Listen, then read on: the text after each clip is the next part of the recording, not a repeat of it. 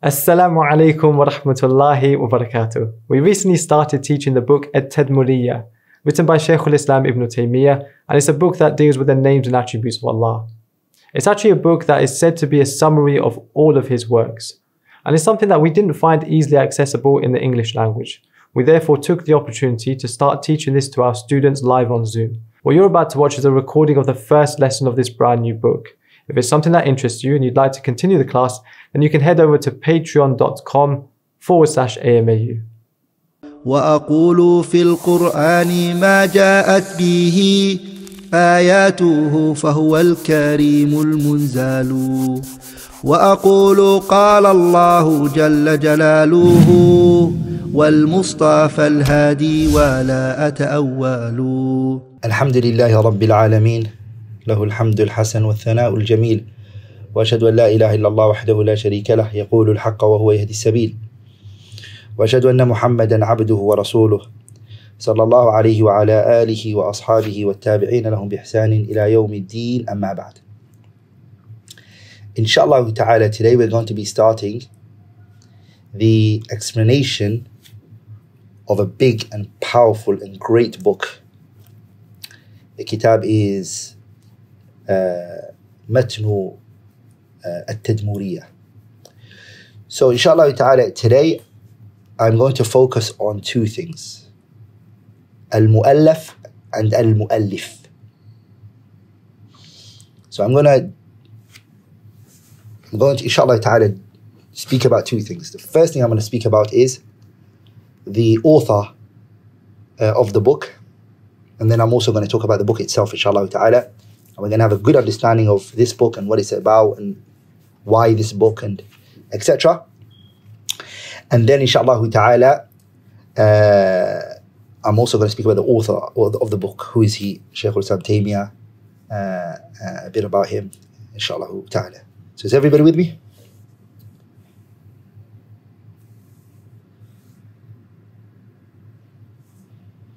So what I'm going to do, inshallah ta'ala, is we're going to go to the whiteboard.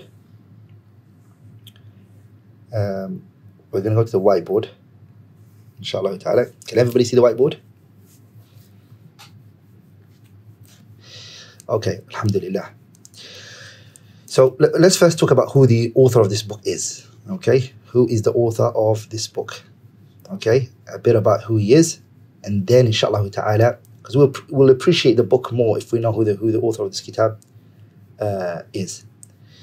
So, I want to speak about the author of this book from two perspectives. Okay, I want to speak for, about him from two perspectives, inshallah ta'ala. The first one is أن حياته آه، الشخصية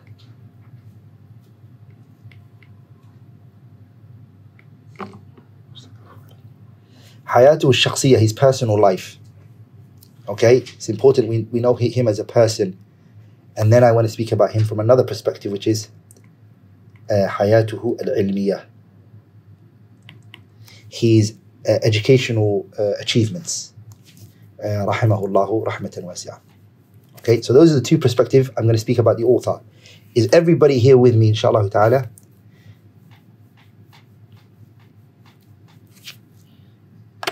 Is everyone with me? So this class, inshallah ta'ala, one of the beautiful things I'm going to try my best to incorporate in this explanation is there's going to be uh, an interaction between us, uh, me and you guys, inshallah. So I'm going to ask you questions, you're going to answer the questions. Um, Allahul tasifun.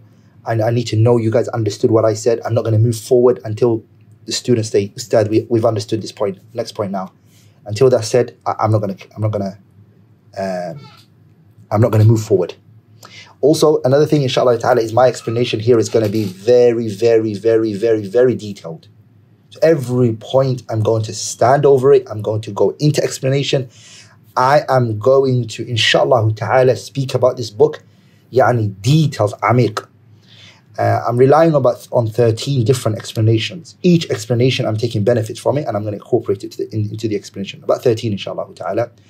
And um, but I will explain it and I will make sure everyone, inshallah ta'ala, understands it. Bi'idhnillah al-karim, I'll work hard towards doing that. Um, if I'm using a lot of Arabic terms and you don't understand, you can ask me and I'll explain it for you, inshallah ta'ala. Okay? uh, don't be shy. They say two people don't ever learn. The arrogant and the shy person never learn. So if you want to learn, get rid of arrogance and also get rid of shyness. Ask.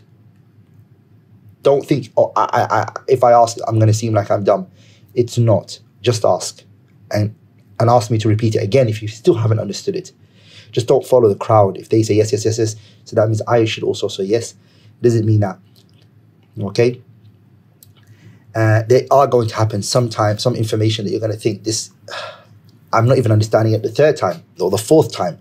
Don't worry, just keep asking. Inshallah ta'ala, might come from this angle of explaining it, sometimes from this perspective, sometimes from this angle, sometimes from this. I'll try different ways of trying to explain it, inshallah ta'ala. And if I feel like I'm still not getting the message across to you, we will try, inshallah ta'ala, maybe to get one of the students to, to take the microphone, him to explain it, and I'll listen. And inshallah ta'ala, it's something we're all going to do together, bidnillah al-kareem, okay? I just don't want it to come out as a class where I am the only one talking and there's you guys are just just just there because that's not what's going to happen inshallah ta'ala another point I want to say is that this book there's a reason why I chose it.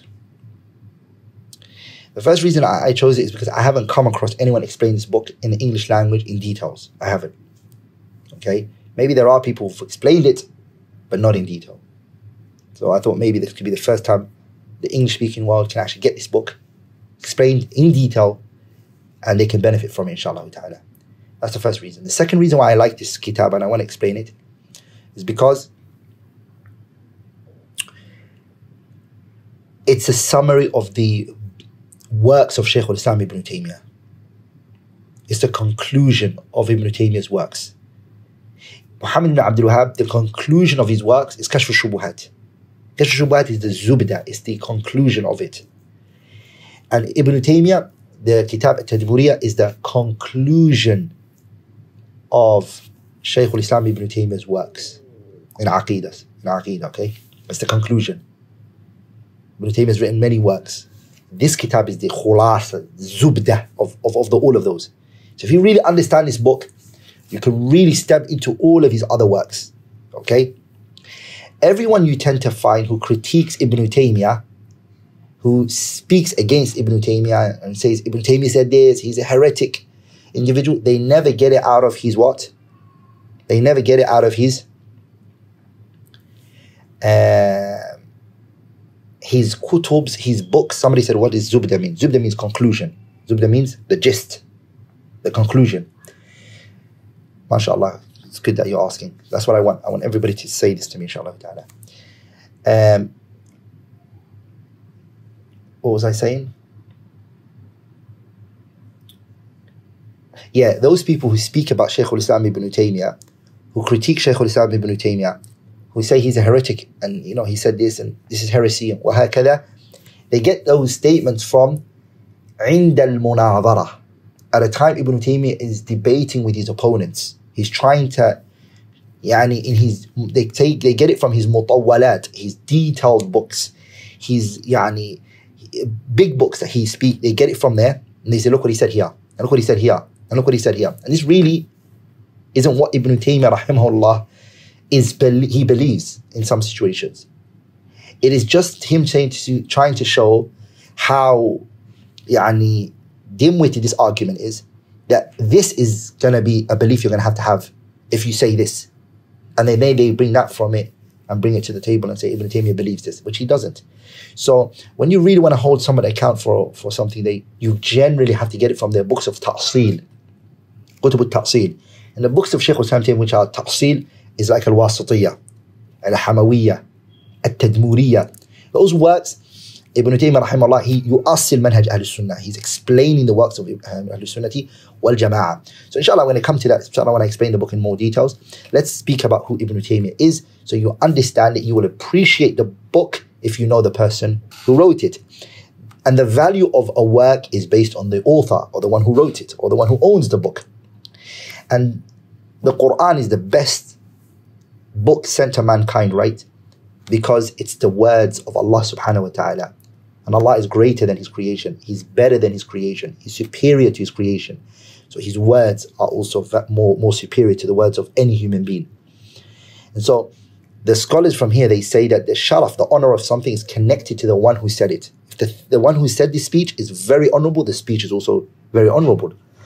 And so, the, the, when you learn Allah Ta'ala and you know who He is, and you study His names and attributes, what do you tend to learn? You, you also start to appreciate the words, the Quran, and the Quran grows in your eyes. That's the same when it comes to Walillah al but that's the same thing when it comes to the scholars of Al Islam. For you to appreciate their works and, and, and to appreciate what they write here, you have to have understanding of who this person is. And that automatically, once you get to know that, you will uh, you'll appreciate what you're reading here. Does that make sense, brothers and sisters?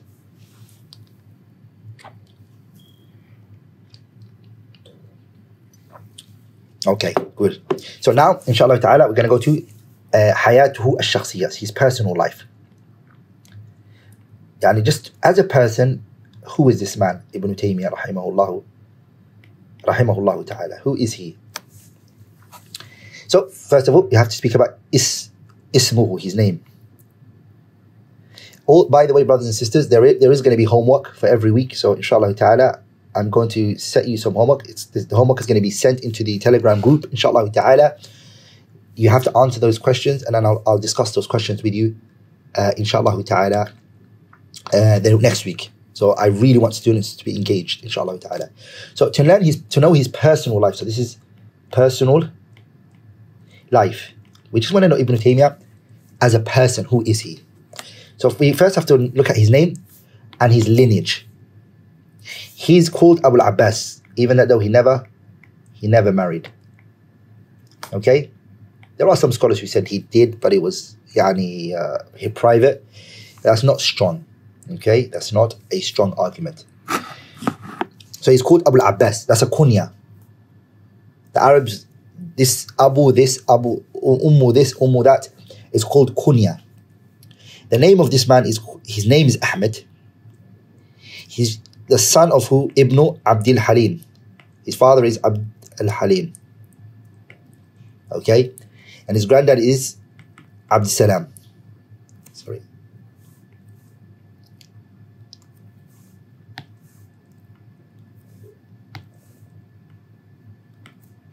Abd Salam. So if anyone asks you Ibn Taymiyyah's name, you say Ahmed. Ibn Taymiyyah's father's name is Abdul Halim. His granddad's name is Abd Salam.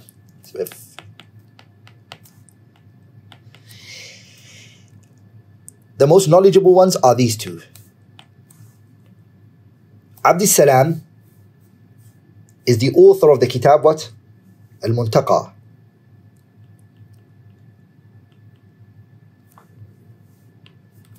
You all know that kitab Al-Muntaqa, right? في أخبار المصطفى is called. It's the kitab Al-Muntaqa is authored by Ibn Taymiyyah's granddad, Abd Salam. He wrote this book. And this book is a hadith al-ahkam. It's like Bulugh al-Maram. It's like what? Bulugh al-Maram. Okay? And the person who explained this book is Muhammad ibn Ali al-Shawkani. He called it Nailu al-Awtar. Does everyone understand that now? So the kitab Nailul Awtar that we have is an explanation on the Muntaqa of Ibn Taymiyyah, Ibn Taymiyyah's granddad. صح? Are we all together? Um, Ibn Taymiyyah, he is Al Harrani. So the lineage is Al Harrani. He's a, from a place called Al Harrani. Harran is a place in Syria. And he is, then he moved to Damascus, so he became a Dimashqi. Ibn Taymiyyah was born in Harran. Okay? Now it's modern day Turkey, correct? Okay? Yes. Then his family ran away from Harran and they ran to where? To Damascus from the what? From the Tatar, the Mongolians, right? Is that? But is Ibn Taymiyyah is well known as what? Ibn. He's well known as Ibn Taymiyyah. Scholars said, why is he known as Ibn Taymiyyah? Where did this come from? Why was he called Ibn Taymiyyah? Okay. Some scholars they said this name Ibn Taymiyyah uh, it came from his his granddad her, her, his his granddad's mother.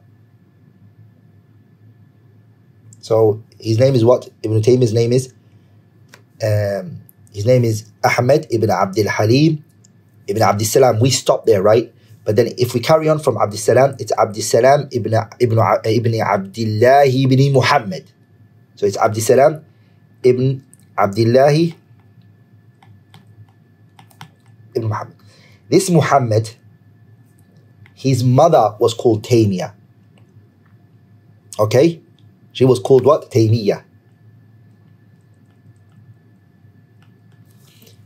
And she was what? She was a wa'ila, a woman who used to give heart softening reminders. So the whole entire family became known by her. Are we all together? Ibn Abdul Hadi mentions that in his kitab Al-Uqud Al-Durriya fi ba'd manaqib Shaykh al-Islam Ibn Taymiyyah. Is everyone with me so far?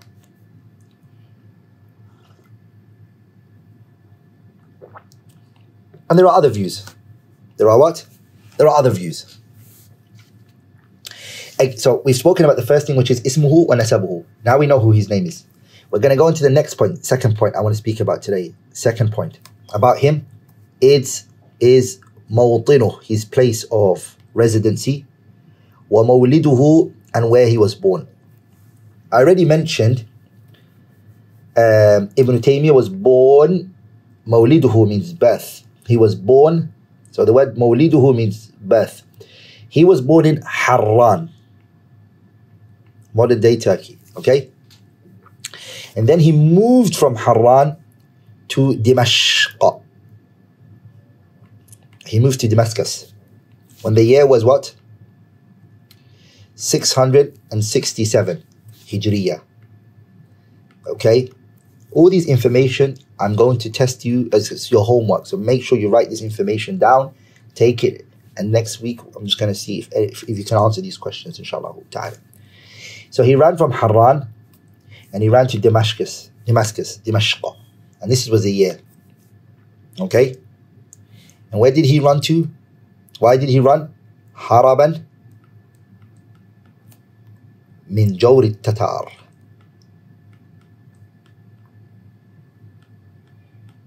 He was running away from the oppression of the Tatar. Okay? When was he born? Ibn Taymiyyah rahimahullah. He was born 661 Hijriya. Okay? And he was born in the month of شهر ربيع الأول.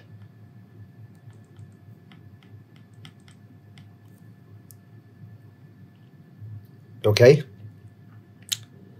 And it was on the 10th. في اليوم العاشر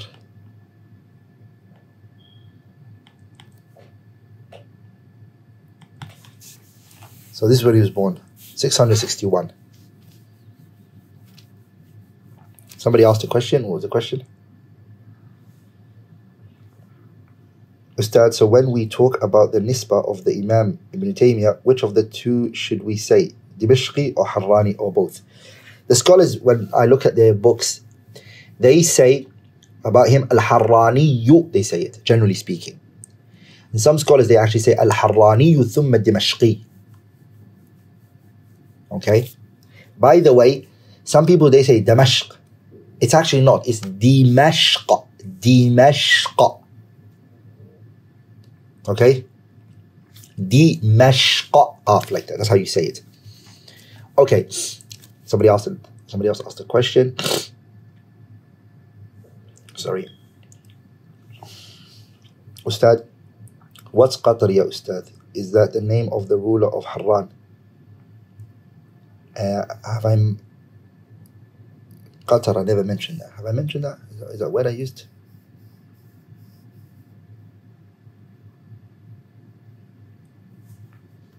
Ha. Oh, Tatar, Tatar, I said, Tatar. Yes, the Tatar, I said, now. The Tatar were the Mon- Mongols, right? They were the Mongols.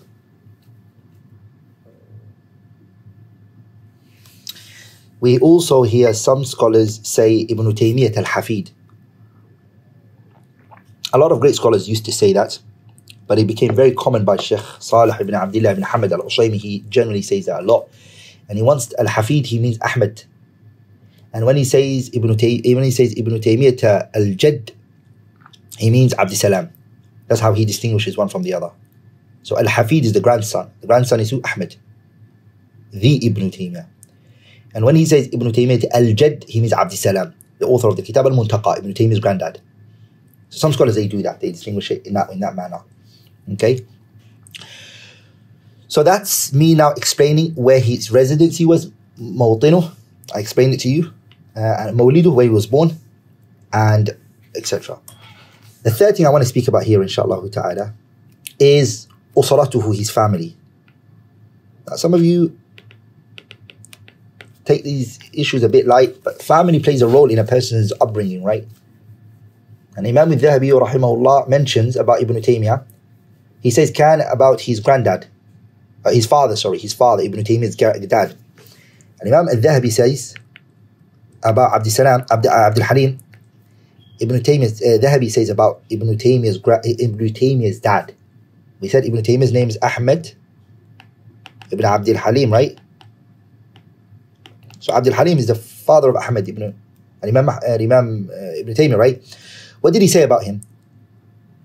Uh, كان إماما He said he was an imam محققا يعني who reached, reached that درجة تحقيق He said about him كثير الفنون was a man who knew many sciences and then he even said about him له يد أولى في الفرائض he was he had a he had like يعني a long hand means يعني he was deeply rooted into inheritance and also al-hisab maths he knew it very well. And his father Ahmed uh, Abdul Halim his father uh, Ibn Kathir mentions Ibn Taymiyyah's dad Abdul Halim he used to have a chair in Dar al-Hadith al-Sukariya. And he's what he used to do was at-ta'lim wal-wa'd and he used to teach the people reminder and heart softening. And his father passed away 682 Hijriya. Okay? Because that's, that's his father. So you can understand what kind of family he's from. Let's look at his granddad, Abdus Salam. Abdus Salam, he's known as. What was the dar again? The dar was dar al hadith, uh, sukriya. inshallah ta'ala, there's a, bi'idhnillah al-kareem, I'm going to do a series, inshallah ta'ala, where I'm going to speak about all the, the door, al-hadith, al-fiqh, and ilm al-sharia was taught in, in, the, in that land, and the scholars that created it, and how it was taught, and all of it. Inshallah ta'ala, these madaris and these door that were opened, I'm going to make a series of it and give explanation of it, of, of them, inshallah inshallah ta'ala one of them is the famous madrasa madrasatul umariyah the history behind it where it came from and who where it, all of that I think we should study it and have an understanding of it he's this is where his uh, his father was a teacher at and he used to uh, teach uh, Ibn Taymiyyah's dad okay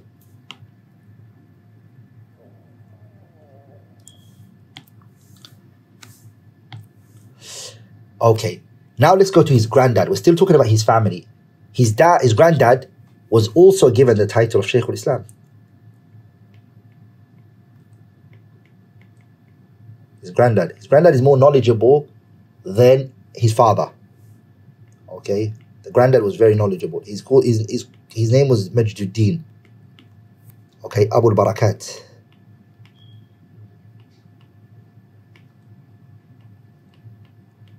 Okay, and his name is Abdussalam.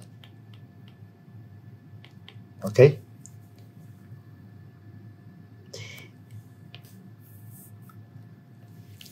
Ibn Shakir al-Kutaybi um, al-Kutubi, he said about him, about uh, Ibn Shakir saying about Abdul Salam, he said, كان إماما.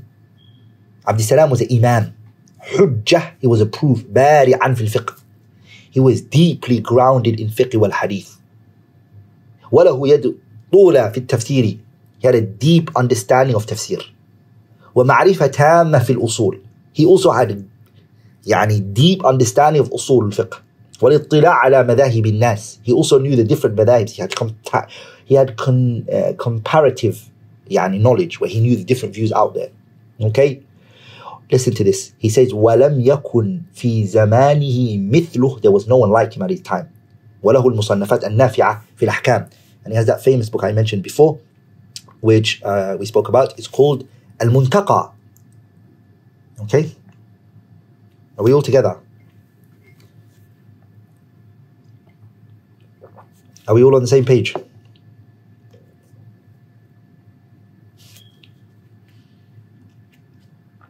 So those three people are like the closest. Now, some sisters might be in the class and thinking, okay, what about brothers? Uh, sorry, what about women? Women. Okay, what about the women in the family? Were there women who were scholars? Yes, there were. Let's mention some of the women. His grandmother, as I mentioned, Muhammad. Muhammad ibn al-Khadir. If you go back to the name, already it's, it's one. It's in the it's in the name of his granddad, Muhammad ibn al-Khadir ibn Muhammad ibn al-Khadir ibn Taymiyyah. His mother, we already mentioned, uh, she was known as Taymiyyah. She that's where the name came from, right? She was a wa'idha. She used to give reminders. And Ibn Abdul Hadi speaks about her in his Kitab al-Uqud ad-Durriyah. He mentions her. So that's a, that's where the name came from. The whole family took the name because of her. Another woman is Zainab uh, bint Abdullahi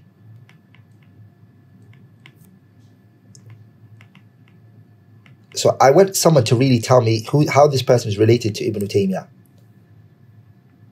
Who can quickly, inshallah ta'ala, answer how Ibn Taymiyyah is related to this individual. And then I'll talk about who, who she is. So someone said sister of his. No, that's cor- incorrect. Mm-mm. She's his she's his niece. His Ibn Taymiyyah's brother Abdullahi gave birth to Zainab. Okay? Okay? And Abdullahi and Ahmed were brothers. Ahmed is Ibn Taymiyyah. They were brothers. And Zainab is Ibn Taymiyyah's niece. Does that make sense? She was the teacher, Zainab was the teacher of who? Ibn Hajar. She was the teacher of who? Ibn Hajar. Are we all together? Yeah? أي نعم. Ibn Hajar traveled to Hijaz to, to take knowledge from her. And she gave him ijazat.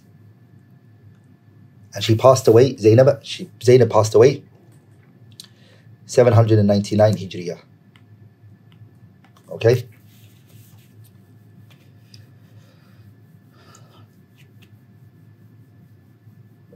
Another thing I want to mention, uh, are we all together? Are we all on the same page?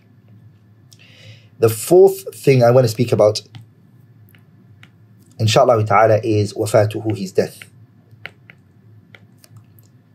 Ibn Taymiyyah rahimahullah, he died when the year was um, 700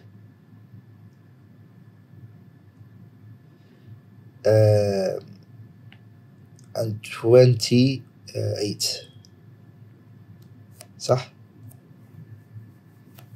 That's when he passed away, rahimahullah ta'ala, 728. Okay, and he died uh, on the 20th of the month of Dhul Hijjah. He died in the prison well known as Qal'at in Dimashq.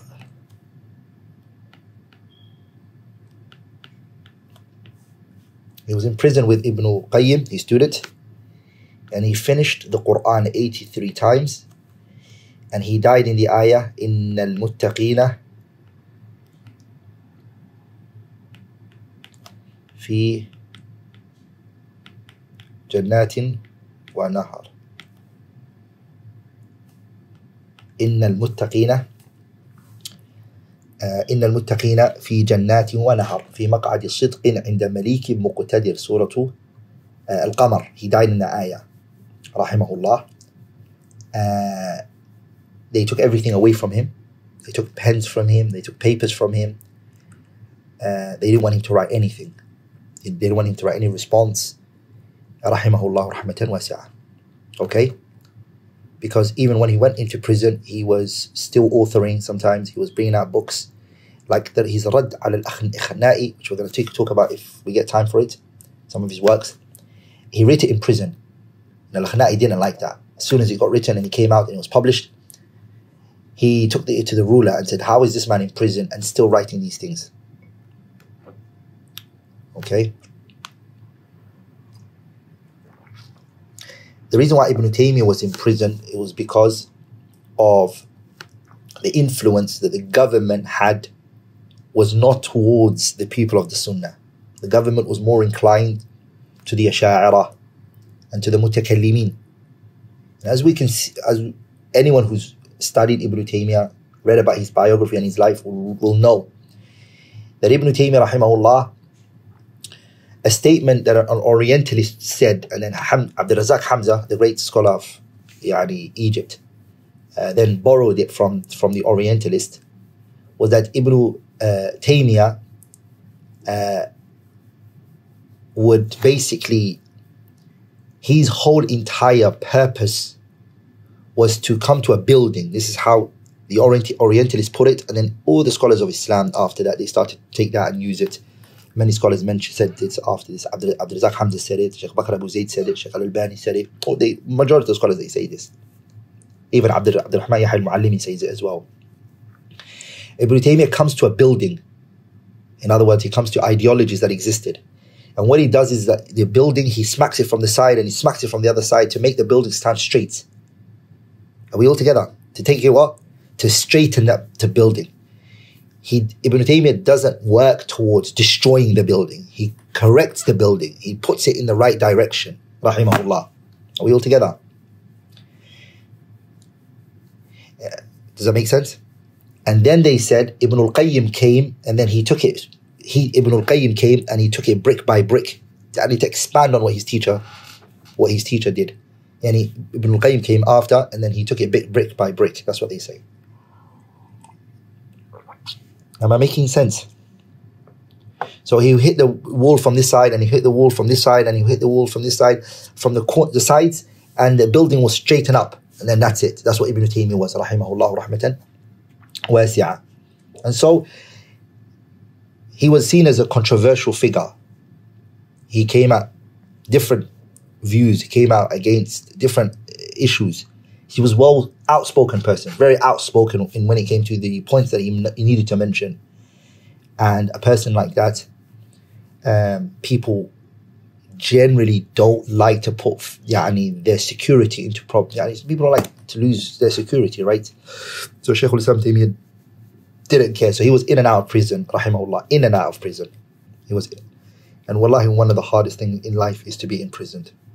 It's really hard to be imprisoned. It's, it's one of the most hardest things that you have to endure is to go behind bars and to be take everything taken from you and you're told to stay there. And in there, you meet all sorts of people. It's humiliating, it's degrading. But when you look at great scholars of Islam, that's what they went through. Starting from Nabiyullah Yusuf onwards. Okay? Now, inshallah ta'ala, I want to speak about uh, al Ilmiyah. I want to talk about his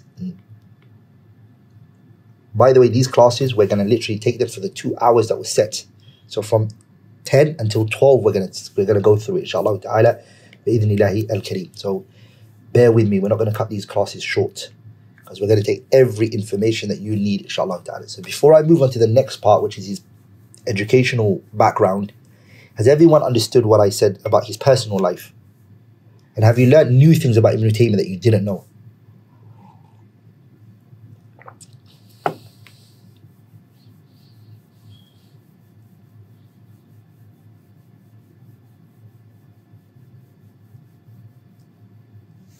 So I hope, inshallah ta'ala, this can be an inspiration for all of us, inshallah ta'ala, that we benefit from this type of person. We, that Allah makes him an inspiration for us and that we, okay? Now I'm, I'm going to talk about his educational, uh, uh, uh, Ibn Taymiyyah's educational upbringing, rahimahullah rahmatan wasi'ah. Um, as I mentioned before, Ibn Taymiyyah, rahimahullah, where did he grow up in?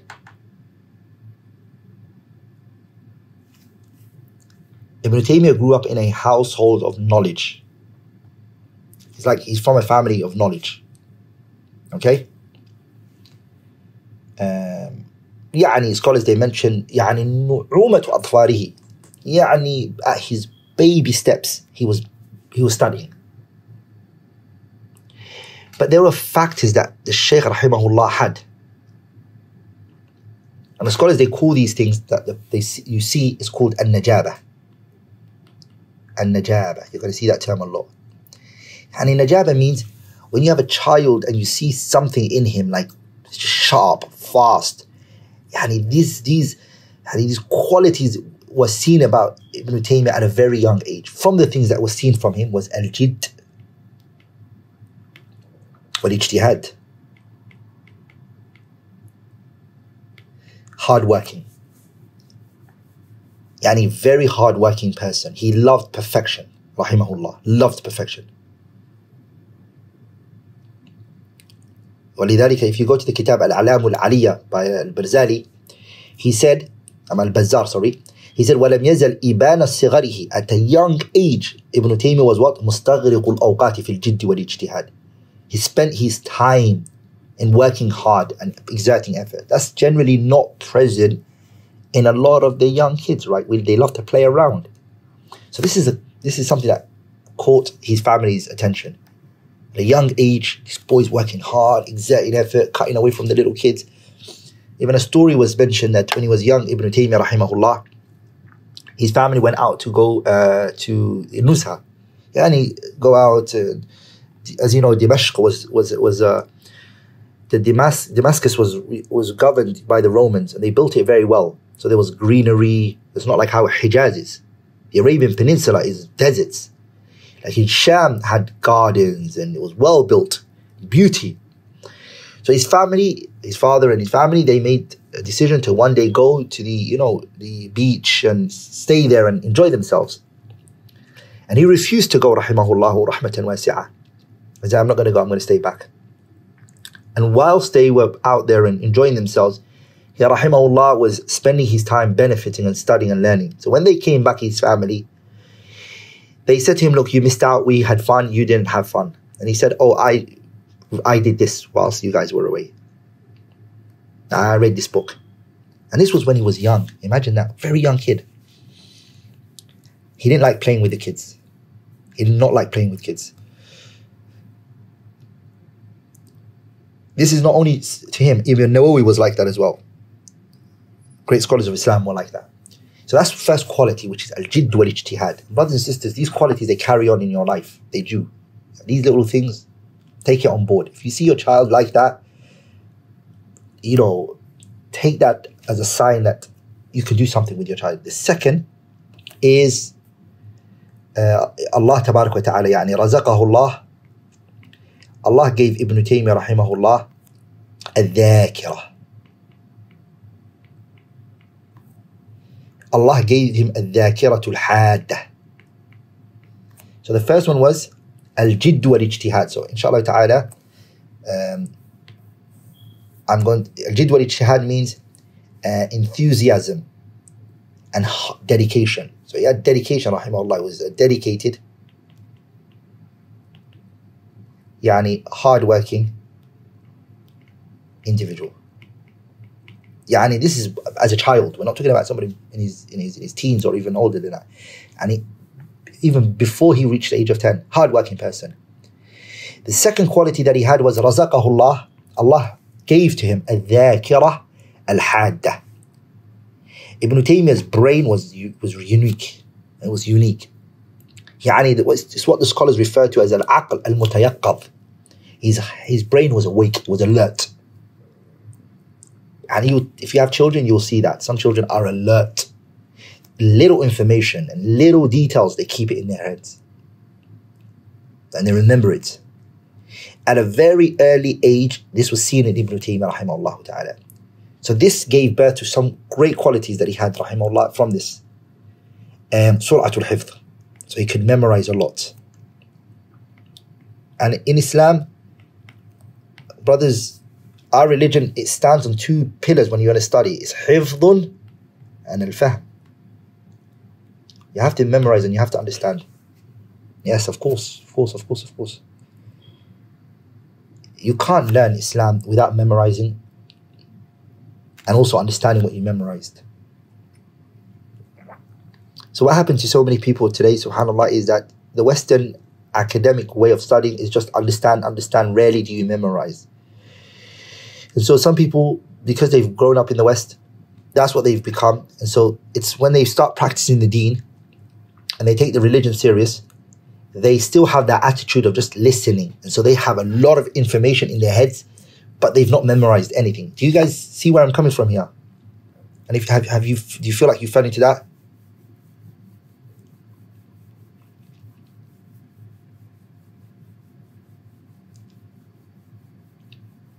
Yeah. So you, you go to school. My, I remember when I was studying university, I was studying linguistics, right? And the teacher was teaching us linguistics. Uh, the teacher was teaching us linguistics. You know, you this guy should know the English language very well. He's a linguist, right? You know, he's a PhD linguist. Sometimes he would ask us like words like necessary. How do you spell it? You know, you know like it's you look at students and say, how do you spell it? And little things like that I picked up on and I was like, Ajib. Like no memorization. But that man's understanding was unique. He understood so much. So Islam is not like that. Islam is hifdun ma'al fahm. You walk into a room, you, you can talk and explain things and discuss things and have yani, something to say without yani, yani, looking at looking at somewhere. Funny because when you go to the eastern, when you go to the east, like yani, the subcontinent, for example, India and etc., or you go to the Middle East or you go to Africa, when they study academic sciences, they memorize everything. And they do that, right? They memorize uh, a dictionary. I remember in my in my experience when I went to my home country uh, at the age of 14, I traveled back to my country and I had seen a boy who'd memorized the dictionary. He literally memorized Oxford Dictionary. I'm not joking. He literally memorized it. And I, I was shocked because the dictionary gets updated. New words are added, words are subtracted and omitted. So I was like, what addition did you memorize? But the point is, they memorize textbooks, they memorize definitions, they memorize. So it is present. The people. So what I'm trying to say is that those who studied in the East or the Middle East or in Africa, they learn from a young age the importance of memorization. So when they study, they give so much importance to memorization and little understanding. The West, like him, they give no importance to memorization, importance to understanding. And so you have this side of the world memorizing everything without having no understanding or little understanding. And you have the West not really memorizing anything, but what? Understanding things. So if we had to choose between the two, which one is better? To memorize or to understand? Without a shadow of a doubt. If we have to choose, yes, it's better to understand than to memorize, right? But why do we have to choose? Why do we have to choose? Does that make sense? Why don't you just memorize as a, as a person, right? So that's not what I want to talk about now. I don't want to talk about memorization and how to memorize. I've spoken about this so many times, things that can help you memorize. Recently, my last class that I gave in Kelima, uh, and the Dora Ilmiya that I just finished now, the last part, I spoke, spoke about six ways of, six things that will help you memorize. Do you want me? To, do you guys want me to say it now, or are you guys going to go there and see it for yourself, or shall, shall I? Shall I tell you? Shall I tell you guys now? It's, totally up to you guys.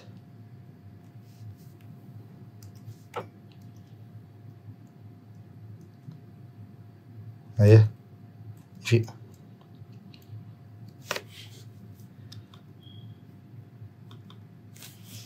Okay, uh, write it down, inshallah ta'ala. There's six things that help a person memorize. Number one, ikhlas, ikhlasun niyyah, sincerity. What did Abdullah ibn Abbas say? Abdullah ibn Abbas, and he said that a person will attain knowledge in accordance to their intention. Abdullah ibn Abbas said, ينال المرء العلم بقدر نيته. A person will attain knowledge in accordance to their intention. So if you have good intention, you you will go far, inshallah ta'ala, brothers and sisters. Ikhlasun niyyah, perfect your intention. Come with good intention. Number two, al-bu'du, distance yourself from what? Sins. Al-bu'du anil ma'asi.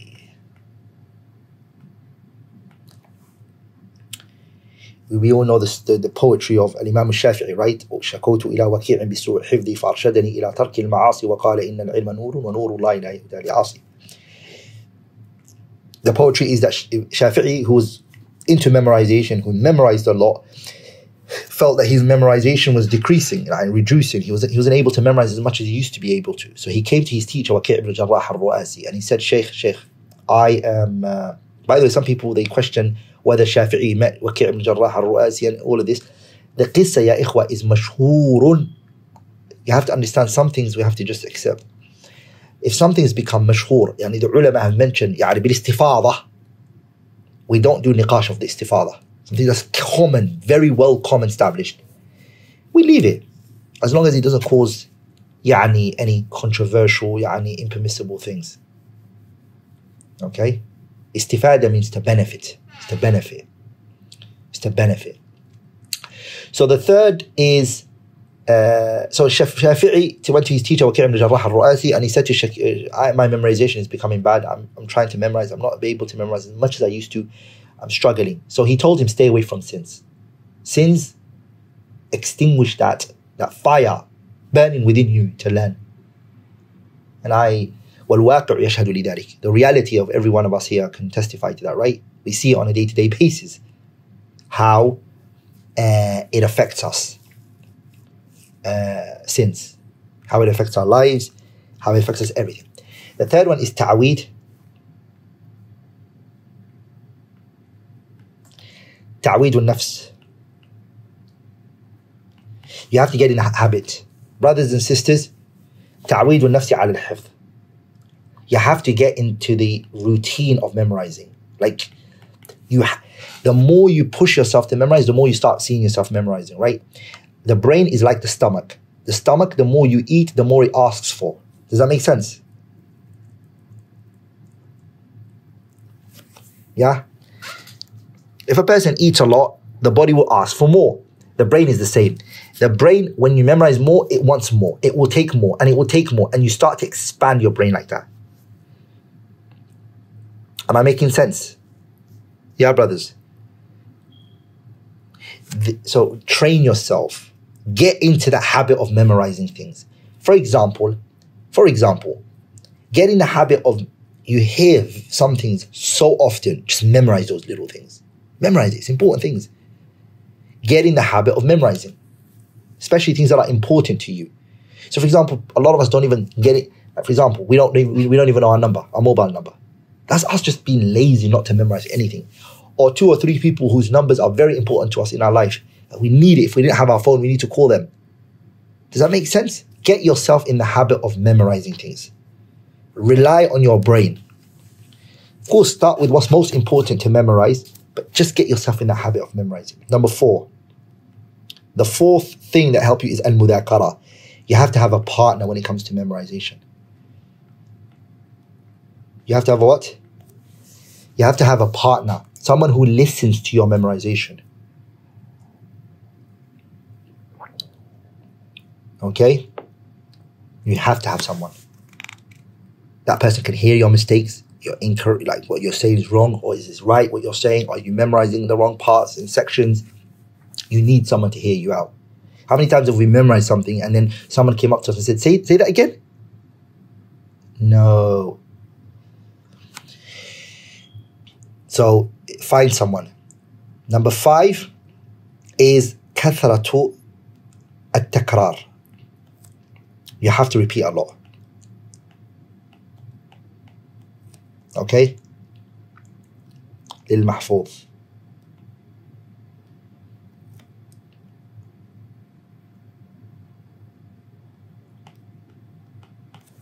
What you're memorizing, you have to repeat it, brothers and sisters. And Imam al-Bukhari, when he was asked about the cure for, for, for, for memorization, they said to him, uh, Bukhari, do you know a medication a person can take to help with memorization? Bukhari said, I don't know anything other than two things. The drive and the will of a person and kathratu takrar, repetition. Those are the two things I know, he said. Are we all together, brothers and sisters? Are we all on the same page? Repetition is vital. That repetition, brothers and sisters, is two types. There is a repetition in one moment, in one go. That's not what I'm talking about. I'm speaking about repetition in, in, in, in, in two different days. Three, separate it, divide it into different days. And last but not least, is the sixth is ikhtiyar, choosing. uh, الزمان choosing the time uh, والمكان المناسبين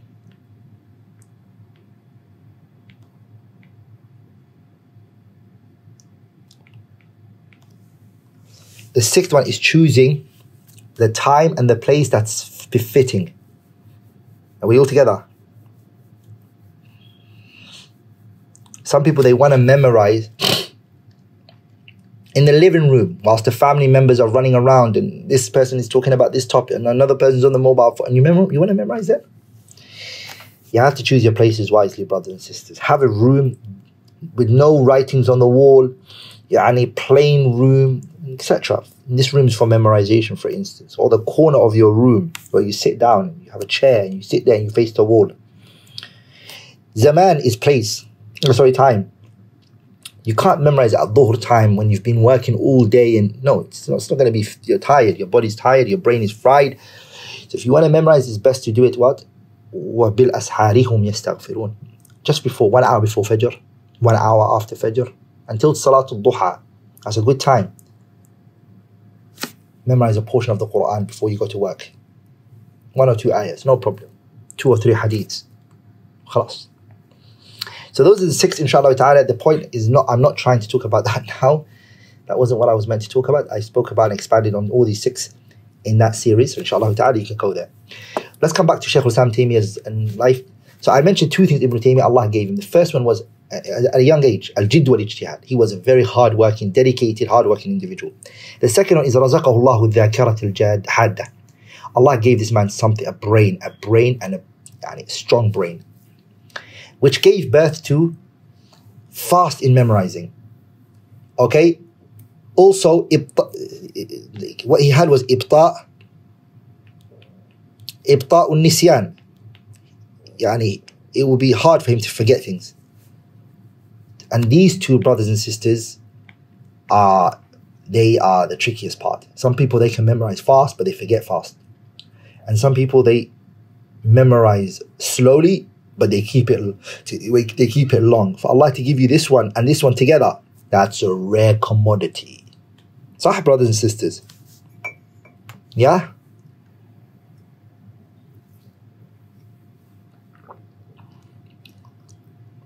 Do you, do you, guys, do you guys do you guys understand do you understand where I'm coming from?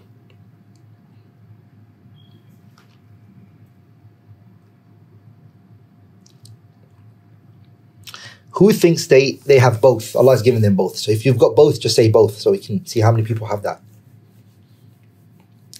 Who's got both? They can memorize fast and they rarely forget.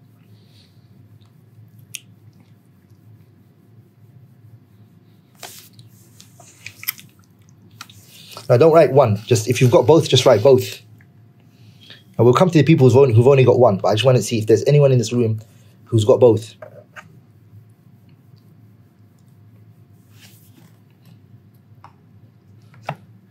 I guess we don't have anyone, right? I definitely don't have both. Okay, good, good, good, good, good, good. MashaAllah, good. Uh, who memorizes fast? Who, can memorize fast, but is slow? Uh, sorry, they memorize fast, but they don't. They they you mem who who memorize it? No, okay. Who memorize it fast, but takes time to forget it? No, sorry, that was wrong. That mean that would mean both, right? So who memorizes fast?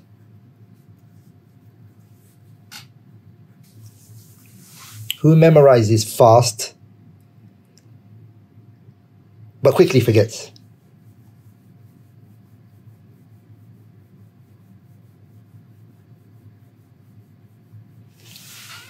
Who's memorizes fast and forgets quickly?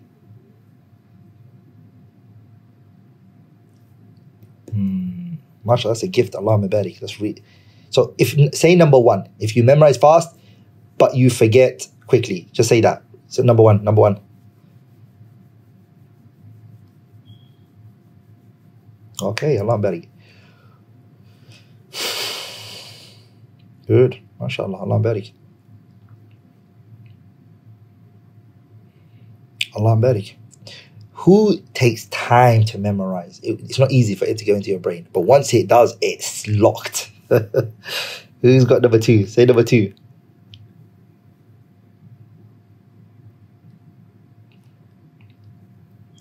Allahumma barik.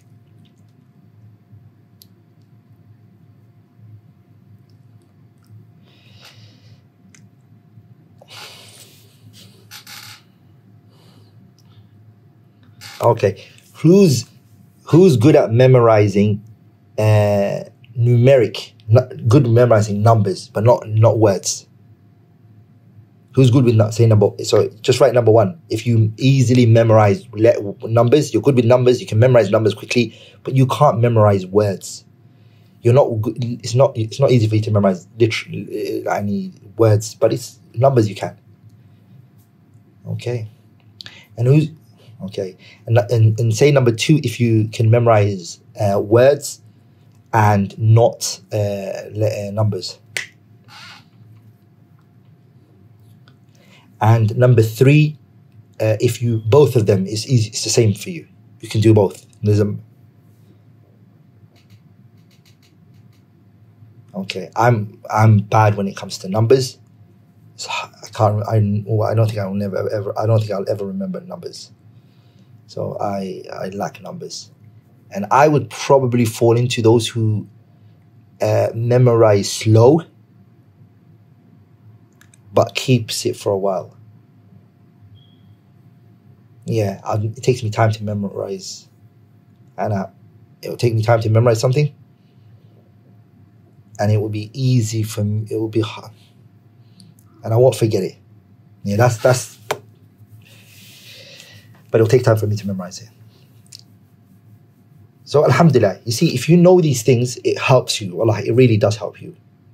Because what if you know that you you will re- retain this for a long time, so you you appreciate that you know that that time you're just pushing in and pushing in. You know, like I know a brother. I said to him, "Which one are you? Do you you memorize fast and it takes you time to forget? It it stays in your long memory, or does it not?" He said, "I don't know." So maybe if you put yourself in one of those categories, you can you can appreciate it. So he said, "You know what? I know what I am." I said, "What is it?" He said, "It takes me time to memorize. It's like I, I can't memorize fast, but I don't easily forget." So I said, "Okay, now it won't hurt you when you know every time you're memorizing, even though it's not fast, you're you're memorizing it, but you know it's going to be there for for for a long time. So it it won't stress you out. Does that make sense?"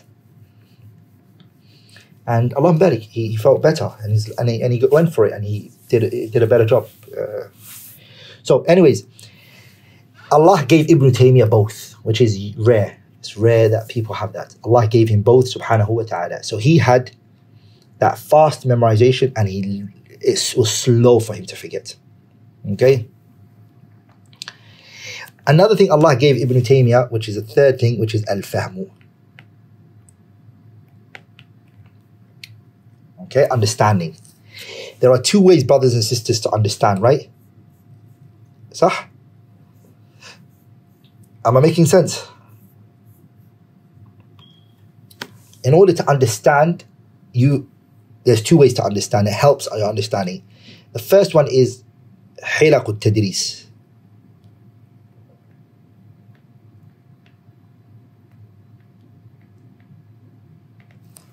Hilaq tadris means circles of knowledge. Go in there and t- take sitting under the feet of a teacher and him teaching you. This gives you understanding. And the second one is al qira'ah. The more you read, the more you understand. Am I making sense, brothers and sisters? Yeah?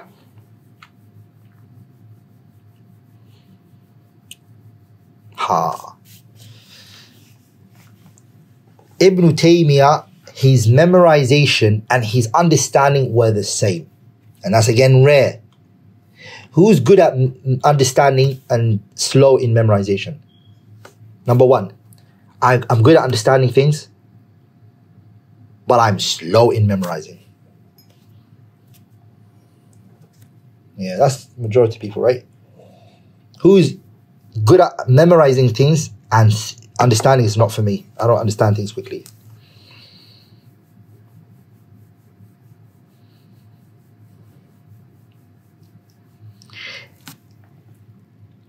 So, can I ask for something? I'm, I just want to see uh, students, okay? Those who said understanding is easy for them, can you repeat the answer and write what, what, what country you're from? Just want to show you guys something. The people who said understanding is their strong, just write the country that you're in.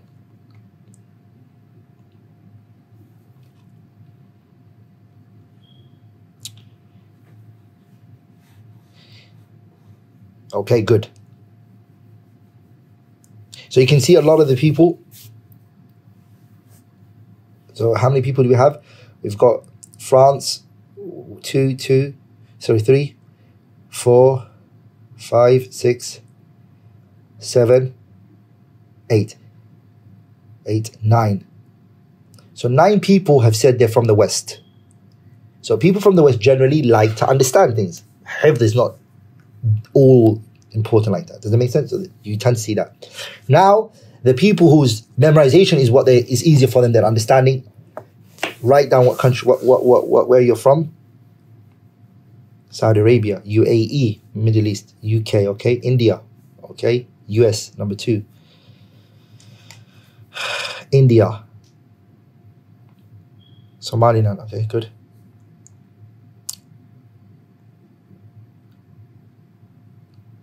So do you see the people from the West is less in number? So we have we've got one person, two two people who from the from the West who said that memorization is best is easier for them. That's something I've seen with people from the West. You understand my point? People from the West will tell you it's memorization is, is uh, my understanding is better for me because that's how we've we've grown up in the West. And those people who are from Africa, from the subcontinent, the Middle East, they'll tell you hifdh is what's easier for me. And that's something, jadripo. Try it. Ask your family members. Fahm or hifd. They'll say hifd. Who are from the Middle East or countries like that. You'll see that. Brothers and sisters, inshallah ta'ala, this is who Shaykh al-Islam Taymi was in terms of uh, as, a, as his, his, his يعني, نشأته العلمية. I want to conclude by Ibn Taymiyyah's life here. Just one more thing, inshallah ta'ala, which is his shuyukh. Before I go to his shuyukh, um, because what were the two things I just mentioned right now? that a person needs to understand. I mentioned, I mentioned how many things? If you want your understanding to be very strong, you need two things. What, what did I say? What were the two things I mentioned? Circles of knowledge and reading. Very good. Circles of knowledge and reading. Ibn Taymiyyah, they said, rahimahullah, he one day sat down. Imagine this, yeah, brothers and sisters. Like, really, imagine this. Uh, Ibn Abdul Hadi mentions this. Okay? Uh, he one day took the kitab of Sibawahi. Please, brothers and sisters, listen to this. And Ibn Taymiyyah, without a teacher, took the kitab of Sibawahi, which is known as Al Kitab. It's, it's, it's out there, it's present. Kitab Sibawahi is present. You can find it and you can buy it and see it. It's complicated for anyone to understand it. It's very, very, very, very, very complicated book to understand. The Kitab of Sibawayh, because it's not just Arabic grammar. There is all types of the Arabic language. The 12 sciences of the Arabic language are all mentioned in there by Sibawayh, rahimahullah. Even though the Kitab is mainly grammar, but it talks about philology, it talks about semantics, it talks about morphology, it, different types of language, it, it discusses it in there. Ibn Taymiyyah grabbed that book and read it and understood it. So that shows you his understanding was something else. Are we all together? As for him studying with the teachers, I'm going to mention here, his teachers reached 200. My voice cut out. What I was saying was that Ibn Taymiyyah sat down and he read the Kitab Sibawahi. He read it. And he what? Ibn Abdul Hadi mentions in his Kitab Al-Uqud al-Durriyah, he says he read it and he understood it. He understood the Kitab inside out. Even this was this was the issue where him and Ibn uh, there was an issue that happened between him and Abu Hayyan al-Andalusi, rahimahullah. Abu Hayyan loved Ibn Taymiyyah at the beginning, right? They were very close and he loved him. Very good relationship between the two of them. Until one day, Ibn, Ibn Taymiyyah must have taken an approach in an Arabic ruling and Ibn Hayyan was sitting there and he heard Shaykh al-Islam Taymiyyah take the opinion in the grammatical ruling in a certain way. And Abu Hayyan went over to Ibn Taymiyyah and said to him, basically, the view that you've taken uh, and the approach that you've taken goes against the view of uh, Sibawahi. And before that, Abu Hayyan loved Ibn Taymiyyah, extremely loved him. He wrote even poetries in praising Ibn Taymiyyah, rahimahullah, rahmatan. So Ibn Taymiyyah said to him, يعني Sibawayh is not a prophet. And Abu Hayyan loved Sibawayh. Abu Hayyan's a grammarian, he's, uh, he's the Imam who wrote the Tafsir Kitab. So he loved it. Uh, uh, what's it called? Uh, he loved Sibawayh excessively. And then he said to him, Ibn Taymiyyah, I've read the Kitab, Al Kitab by Sibawayh. And he mentioned a number of mistakes that he came across. Ibn Taymiyyah saying this. I came across in that kitab. لا يعرفه سيبويه he doesn't know that he did that mistakes and you don't know it. And it was a bit يعني Ibn Hayyan felt Ibn Taymiyyah was very harsh in his words. Does that make sense? And Dhahabi did mention that about Ibn Taymiyyah. There was a hidda in his speech. Like when he spoke it was a bit tough in his words. This made Ibn Hayyan al-Andalusi excessively angry with Ibn Taymiyyah and he left his gathering and he then he started writing poetry against him uh, and yani, speaking against Ibn Taymiyyah. Okay? But that kitab, Al Kitab, Ibn Taymiyyah wrote it, writ it, yani, uh, sorry, he read it and he understood it. Isti'ab. Now I'm going to go into his teachers. He had 200 teachers. Imagine that. From his teachers were uh, Ahmed ibn Abd Da'im al Maqdisi, who's known as Musnad al Sham. I'm just, I can't mention all, all these shuyukhs that he took from, but I'm going to mention Ahmed. I'm going to mention the most prominent ones. Ahmed ibn Abd al-Da'im al-Maqdisi. He was the Musnad of Sham. He was the Faqih of Sham, the Muhaddith of Sham. That's what they called him. He, Ibn Taymiyyah took from him. Okay? Um, Taqiyuddin Ismail ibn Ibrahim Abu Yusr, who's also known as Musnad al-Sham. Ibn Taymiyyah took from him Rahimahullah rahmatan uh, واسعة. If you want to know all of his teachers that he studied, studied with and took knowledge from and benefited from, you can go to and you can find it in the كتاب العقود الدرية في بعض مناقب الشيخ الإسلام تيمية by Ibn Abdul Hadi. Okay? There are many more, you can find it yourself. Uh, it's all there, inshallah ta'ala. So I'm just going to only mention يعني, three of them here for your own benefit, inshallah ta'ala. So one is uh, يعني Ahmed ibn Abd al-Daim al-Maqdisi is very powerful. You, you'll see him in Kutub al-Hadith. Uh, Ibn Taymiyyah took from him, uh, rahimahullah, uh, rahimahullah rahmatan wasi'ah. From the people he took from, Ibn Taymiyyah, uh, is Al-Majd ibn Asakir.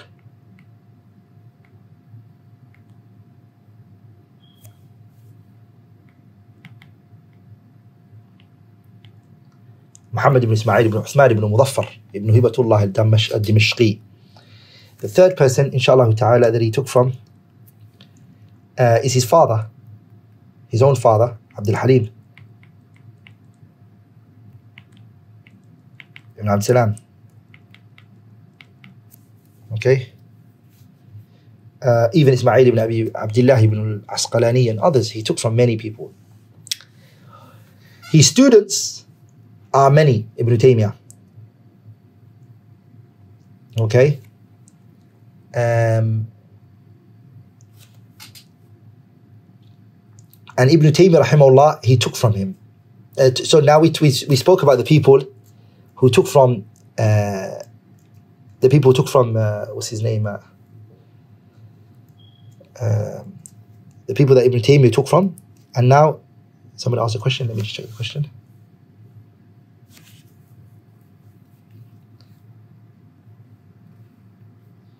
So somebody asked a question.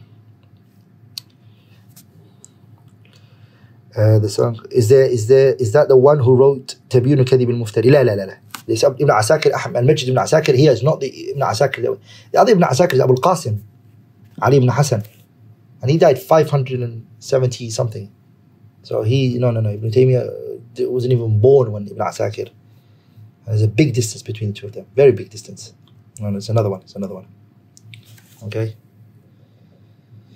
um,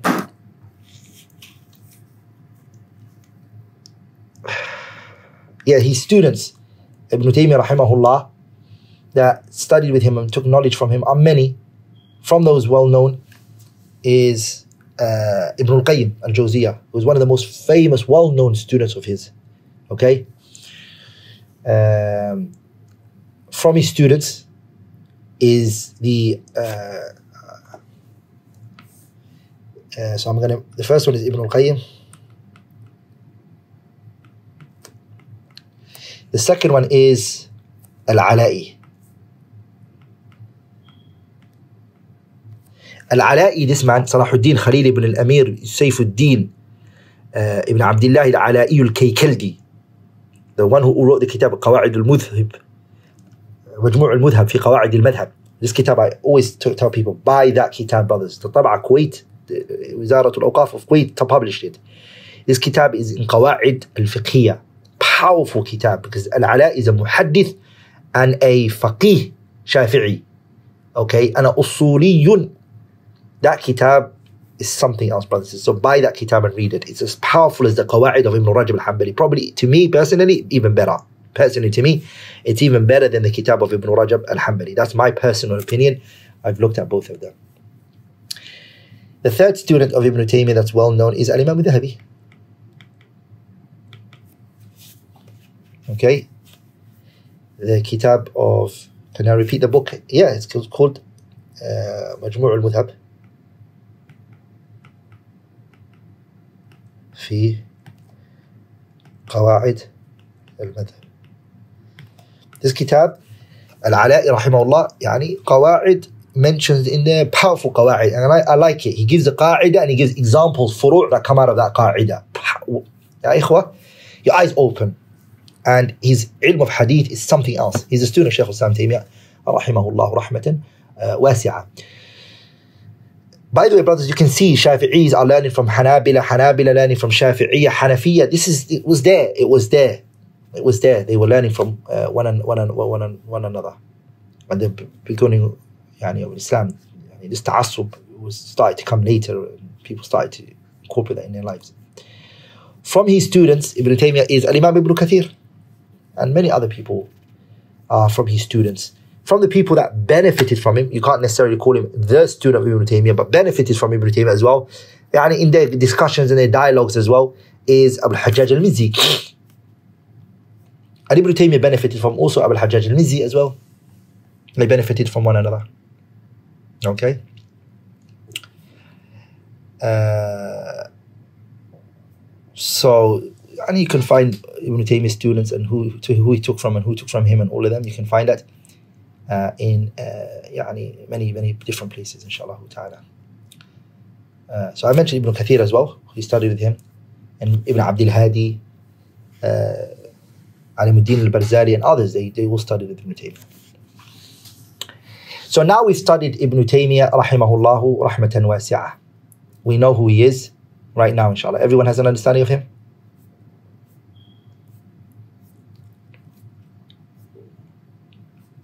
I just wanna I wanna give this topic a justice. So if you all don't mind, I'm just gonna speak about Ibn Taymiyyah in the ulum al-sharia, like in his ulum al-shari'ah.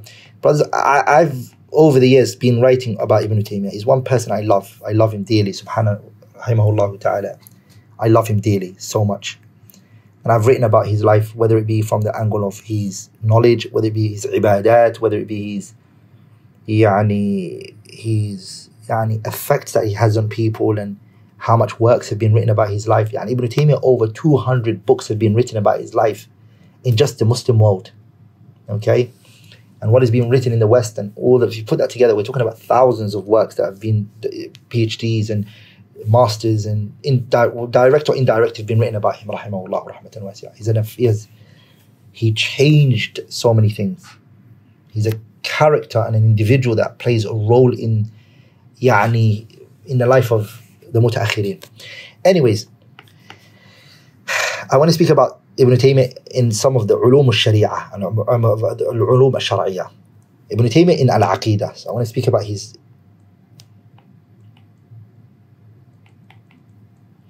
So Ibn Taymiyyah has written works in the uh, Aqidah.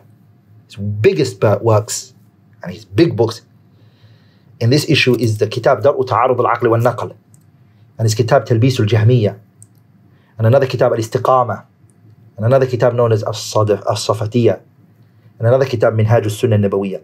Those five books I've mentioned are like the big book, Aqidah books of his where he refutes different groups that oppose the methodology of the Salaf.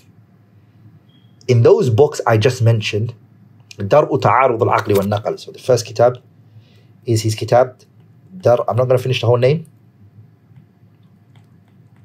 Dar'u Ta'arud al-Aqli wal-Naql. كتاب تلبيس تلبيس الجهمية number three. His كتاب الاستقامة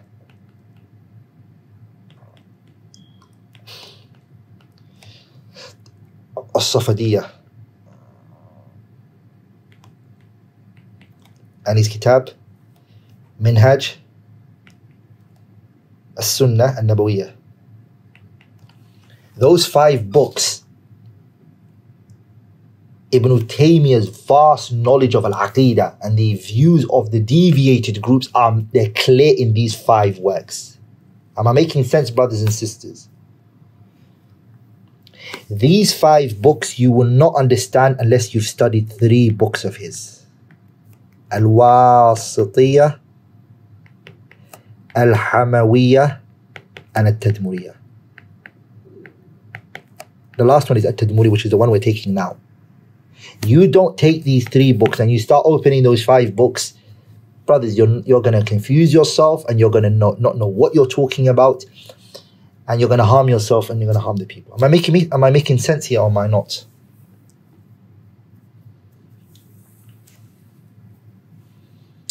Ibn Taymiyyah here is refuting, he's speaking against who? Speaking about number one, Al Jahmiyyah. In those five books. Number two, he's speaking about Al Mu'tazilah. And we're going to talk about these groups, the deviated groups. Number three, he's speaking about the uh, Al Khawarij and the Murji'ah. And he's talking about the fourth group, which is Shia. Okay? And the Shia. He knew their usul, their foundations that they were built on. He knew the foundations. So he ripped their foundations up. Are we all together? If anyone studies Al Wasatiyya and then Al Hamawiyya and then Al Tadmuriyya, okay? Some people are saying, what about the Asha'ira? The Asha'ira, the refutation of Shaykh al-Islam ibn Taymiyyah on the, in the Asha'ira comes in the three books, Al-Wasatiyya, Al-Hamawiyya and Al-Tadmuriyya, especially the Tadmuriyya. We're going to take it inshallah ta'ala. He, he touches on them here. Okay, we're going to see how he touches on them here. Like in these five books, Ibn Taymiyyah rahimahullah, he really comes to groups that he hasn't really come to as much. He comes to the Khawarij and the Mu'tazil and the Murji and the Shia and Jahmiyyah. And it, the difference here is this kitab is a ta'sil. These books are ta'sil. These three books. And you asil. He gives you what you should know as a, as a person of the Sunnah. In Ahl Sunnah, what you need to know. And here is ar-rudud. Brothers, you can't understand refutations unless you have ta'sil, right? Does that make sense?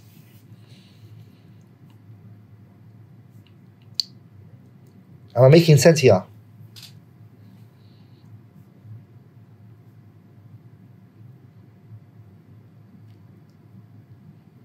And Imam al what did he say about him?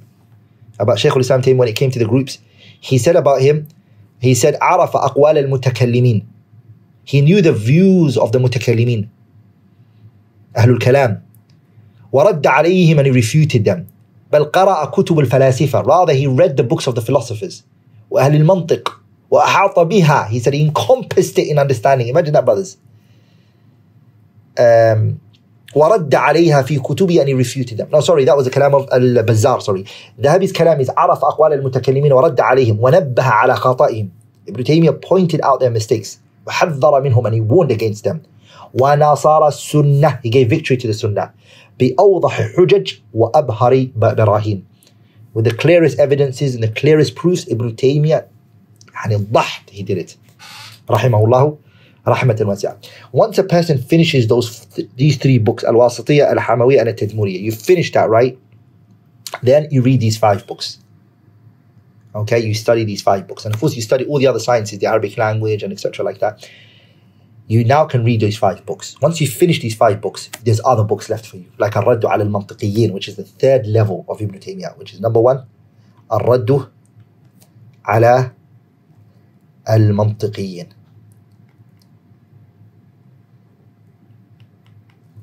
And the second kitab is Al Jawab Al Sahih. Okay? That he, rahimahullah, he had written. So you read that, that's the second patch of works that you read from Ibn Taymiyyah in Aqidah. You're on a level of the works of Shaykh al-Islam Taymiyyah and knowing who he is, his methodology, now you can go and read يعني his السؤالات his مجموع الفتاوى and this and that very very well and benefit from it okay brothers and sisters um, I've spoken about him from, in terms of Aqidah in Islamic sciences I've spoken about him in Aqidah I want to speak about him in terms of fiqh oh no hadith hadith hadith okay Ibn Taymiyyah rahimahullah as Imam al-Dhahabi said about him, كان عجيبا في معرفة علم الحديث. When it came to, which is the second science, al-hadith. When it came to hadith, he said, كان عجيبا في معرفة علم الحديث. Dhahabi is an Imam of hadith, right? He said, فأما حفظه متون الصحاح like how he memorized the wordings of the hadiths وغالب متون السنن والمسند فما رأيت من يدانيه في ذلك أصلا Dhahabi said, I never saw anyone like him. رحمه الله تعالى. Imagine our brothers. We are struggling Somebody asked me a good question. They said, what is the, what is the ta'sil and what is rudud? Ta'sil means grounding yourself. The books that teach you how to ground yourself in what you should believe as a Muslim. That is those three books, Al-Wasitiyya, Al-Hamawiyya, and Al-Tadmuriyya. Those three books, They teach you how to ground yourself upon the right methodology. Ar-rudud is a refutation of the opponents and what they've said. Uh, because it's not enough for a person to just know what is for you. We're in a world today, subhanAllah, where doubts are being thrown at you from all corners. So just studying what is for you is not going to be enough to, to, to protect yourself.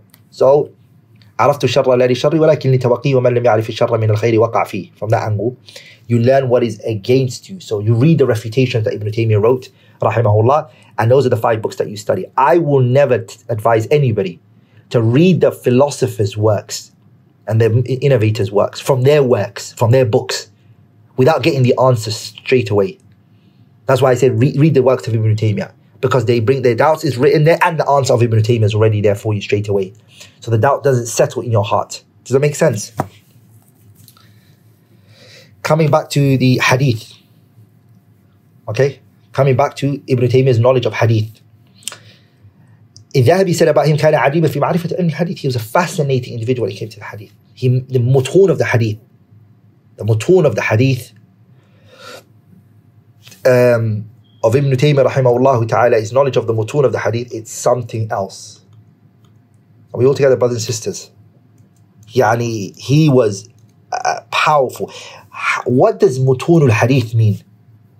Yani, he, he was very good when it came to the riwayat of the hadith. يعني the riwayat of the hadith وفي لفظ كذا وكذا وفي لفظ كذا وكذا وفي لفظ كذا somebody asked a question الصفدية I can't read the fourth book clearly. Can you please repeat it? Fourth book is the As-Safadiyya, sorry, As-Safadiyya. The Kitab As-Safadiyya is a refutation on the Falasifa, which they said when it came to the Mu'jizat al-Anbiya. They said that the Mu'jiza, the miracles of the prophets, is a qawiyun nafsaniyya. It just means that the person, they have a very strong energy within them. Okay, and also another concept known as the biqidam al-alam, that the world was always been. Yani the uh, world was always there. Does that make sense? So Shaykh al-Islam ibn Taymiyyah, qidam al-alam and nafy al-sifat, he's refuting them in there. And he's also responding to this mu'jizat al-anbiya. So this is Kitab al-Safadiyya. That's what he deals with. And it was a question, by the way, that was put to him to, to, to, to it was a question he was asked. Uh, and someone tried to refute him on it, and he wrote this kitab, As-Safadiyya. Don't worry, inshallah ta'ala. One day I'll take time out to speak about each book of his and the different publications and the best tab'ah to get. The only tab'ah I know of the kitab As-Safadiyya out there so far is the tahqiq of Muhammad, Dr. Muhammad Salim. Uh, originally, is, is the maktaba of Salim Agha in uh, Istanbul published it the beginning uh, under the under the under the naming قاعدة في الحقيقة والرسالة وإبطال قول أهل الزندقة والدلالة. It came out it came out as that name, and then later uh, when it, when uh, يعني عبد الله بن عبد الرحمن السعد and Abu Abdullah al-Hulaymi and another person they stood up and they corrected the mistakes that were in uh, Muhammad oh no Muhammad Rashad Salim after him يعني they they authored it sorry so they corrected some of the mistakes that were in it again, I've been taken off topic. I'm, I'm, I'm, I'm, I'm I don't, I don't, I want to focus on each point. Sorry, I don't want to lose track, and I don't want to confuse you guys. My time's about to finish, and I just want to, uh, inshallah ta'ala, focus on this point. Uh, what was I saying? What was I saying? Hadith. So he's, he's he was a fascinating person when it came to uh, hadith. Uh, Al-Hafiz Abu al-Fath al-Ya'muri is a hafiz in hadith. Okay, you can find this in Kitab Dhayl Tabaqat al-Hanabila ibn, ibn Rajab al-Hanbali brings it. الحافظ أبو الفتح اليعمري what did he say? He said أن ابن تيمية كاد يستوعب السنن والآثار حفظا that he nearly memorized all of the sunnah hadiths of the Prophet ﷺ, and all of the athar from the Sahabas and Tabi'in. It's like he encompassed it all to the extent that he said about him أن له خبرة تامة بالرجال he knew the men the narrators وتعديلهم their criticism the praise that were put on them بطبقاتهم their levels he knew the فنون الحديث the different fields of hadith علم الرجال جرح التعديل يعني علل الحديث يعني he knew it تخريج الحديث he knew all of that مصطلح الحديث he knew that the hadith which is عالي the hadith which is نازل he knew it الصحيح والسقيم he knew the authentic the weak one مع حفظه لمتونه الذي انفرد به he also knew that who was alone in that hadith from the tabi'in or from that narrator who singled in this he knew that رحمه الله تعالى Look what he said after that. He said, وَهُوَ عَدِيمٌ فِي اسْتِحْرَارِ وَاسْتِخْرَاجِ الْحُجَجِ مِنْهُ The powerful thing, brothers and sisters, is sometimes we can memorize the entire page of the Quran. But if I asked you to get a particular certain ayah for me like that, in this particular issue, it's a different story. This is what Shaykh al-Islam Taymiyyah had. Yani he, he can quickly go to his brain. He can th- bring out a hadith and the wording for this one, in which he use, wants to use it for a mas'ala. He was something else. Dhahabi is speaking, um, this is all from Imam Dhahabi. He said, وَإِلَيْهِ الْمُنْتَهَى فِي غَزْوِ إِلَى الْكُتُبِ الستة. He was so unique, brothers and sisters, in attributing hadith into where it was taken from. He says, this is the wording of Bukhari and this is the wording of Muslim. Allahu Akbar. He will, he'll break it down like that. Actually, there was a time when I was reading Majmu' al-Fatawa li Shaykh al-Islam Taymiyyah. I was trying to go through it the first time, actually, when I was going through it. I came across Shaykh al-Islam Taymiyyah in the ninth volume, where he says rahimahullah rahmatan wasi'ah وأظنه رواه يعني he mentioned a scholar of hadith who narrated the hadith. I think this person narrated it. And subhanallah, I looked down at the muhaqqiq of the kitab. What, did he agree with him? Disagree with him? Did he? He put a note at the bottom of the kitab and he said, yes, he's right. It's in there. Yani, even when he says, I think hadith is narrated there, it's there. A lot of these books that you're, you're that Shaykh al-Islam Taymiyyah wrote, it was in a, he was sitting down and he wrote it from his memory. Go and look at the Kitab al-Wasatiyah. Look at, he wrote that from memory, right? He wrote that from memory. He wrote it from memory. Look how many ayat he mentions. Look how many hadiths he mentions. The whole book is just pages of ayat and hadiths and ayat of hadith. All meant from memory, brothers and sisters. Allahu Akbar. The third thing I want to speak about his, his knowledge of the science of hadith is tafsir. And I think this was his best. Yani this, people think Ibn Taymiyyah, Aqeedah and everything. Allahumma barik. he was a, Shaykh al-Islam, right? Like his knowledge of tafsir, La ilaha illallah, Muhammadur Rasulullah. La ilaha illallah, Muhammadur Rasulullah. That's all I can say. La ilaha illallah, Muhammadur Rasulullah How he knew the mufassirin who said this, qawl mujahid, qawl qatada, qawl this, qawl this, is his for you, this is for you. He would even do تعقيبات on Ibn Jarir al-Tabari. يعقب عليه. Ah. And I'll give you one example.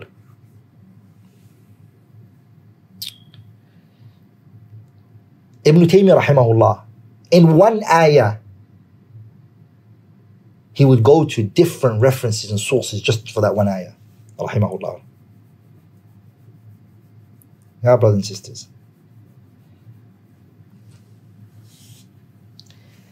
What he used to do in Damascus, listen to this here, Bazaar mentions this in his tarjama. He said he would sometimes come to the gathering. Brothers and sisters, please listen. He said he would come to the gathering. Someone would narrate, uh, recite an ayah randomly from the Quran, random ayah from the Quran. They would read on him. He would close his eyes and he would t- do tafsir of that ayah. He would bring every single thing related to that verse.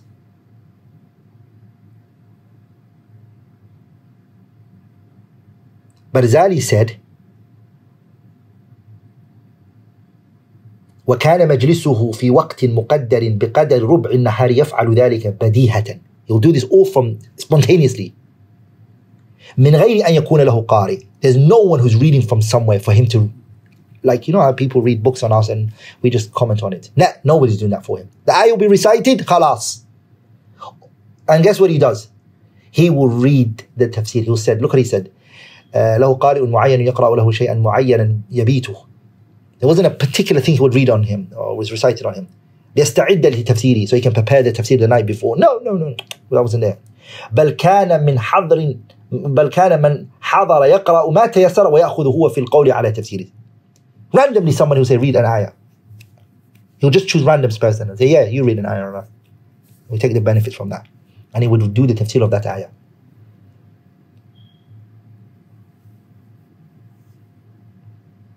Are we all together?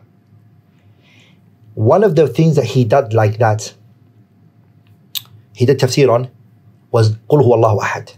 And today it's a volume. It's a volume. All of it from memory. It was dictated from his mouth. The students started writing it.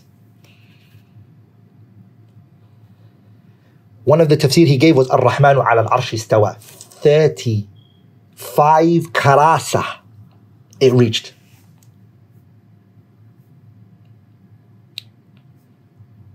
Al Bazzar said, It reached me that Ibn Taymiyyah sat down. يعني it'd be Rahman al Astawa would be like 10 volumes right now if we were pub- to publish it تقريبا. Bazzar, look what he said. He said, It reached me that he wrote a tafsir book. If he completes it, it will be 50 volumes. But we don't have it. We don't have it. 50 volumes in tafsir, Shaykh al-Islam Taymiyyah. Now I'm going to go into this fourth science that he had, which is the last one, well, last one I'm going to mention, which is fiqh. Ibn Taymiyyah in fiqh, of course, he started ala madhab al-Imam Ahmad ibn Hanbal. But that doesn't mean he was in line with the madhab and the fatawa of the, no, he wasn't like that. Ibn Taymiyyah was a mujtahid. He will say, he'll give fatwa based on what he believed was the evidence and the proof.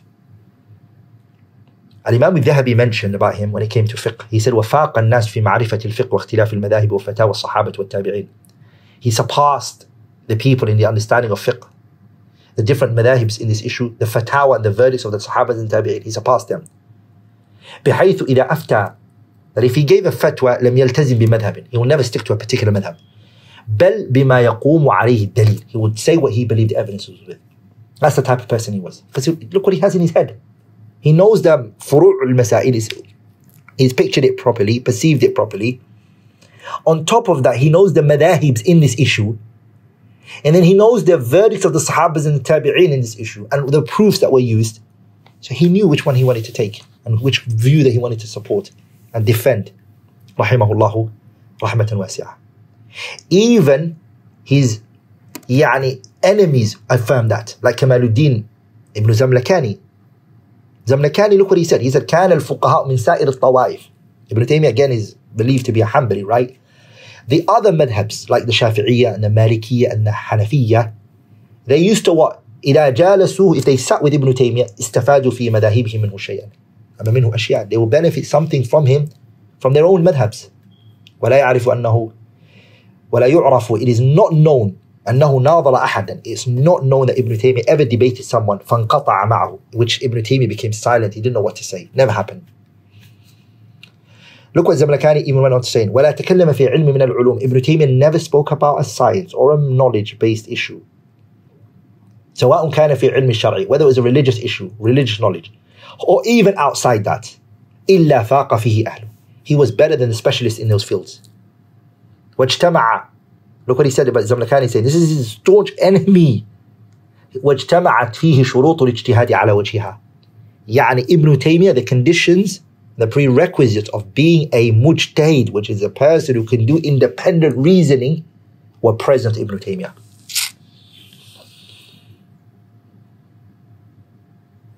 Are we all together, brothers? That being said, Ibn Taymiyyah gave fatwa on some issues where he went against the four madhabs. He was a mujtahid. He went against the four madhabs. He went against what was commonly known by the people. Ibn Abdul Hadi mentions in his kitab Uqud al-Durriya, I'm going to mention some of those things that he went against the four madhabs in. Or should, should I not mention it? Yeah, or should I mention it?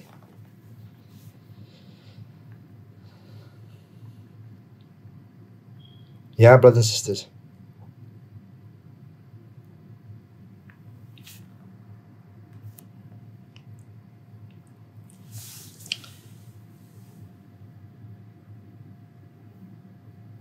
One of the things is the famous, I'm going to mention the most famous one, is the issue of talaq al-thalath, the three divorces, with يعني, one time saying, I divorce you three times.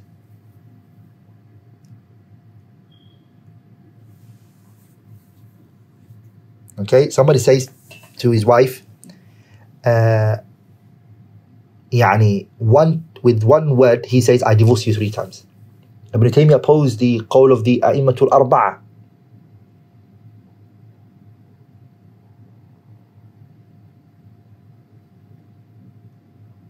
The second thing he opposed them at the four madhabs in, is the issue of uh, traveling. When you're traveling, the distance of the traveling, is there a certain distance or is there not? Ibn Taymiyyah said, La. Shortening the prayer as a, as a traveler, okay, what يعني masafa is needed? He, يعني he went against them four madhabs in this issue. He went against sujood tilawa. When you recite the Quran, when you recite the Quran and you come across a verse in the Quran where is a sujood, should you have wudu or not? Ibn Taymiyyah went against the four madhabs.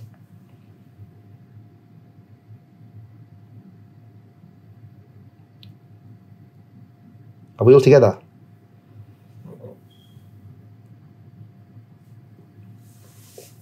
So there's a lot of things that he rahimahullah went against the four madhabs. Rahimahullah rahmatan wasi'ah.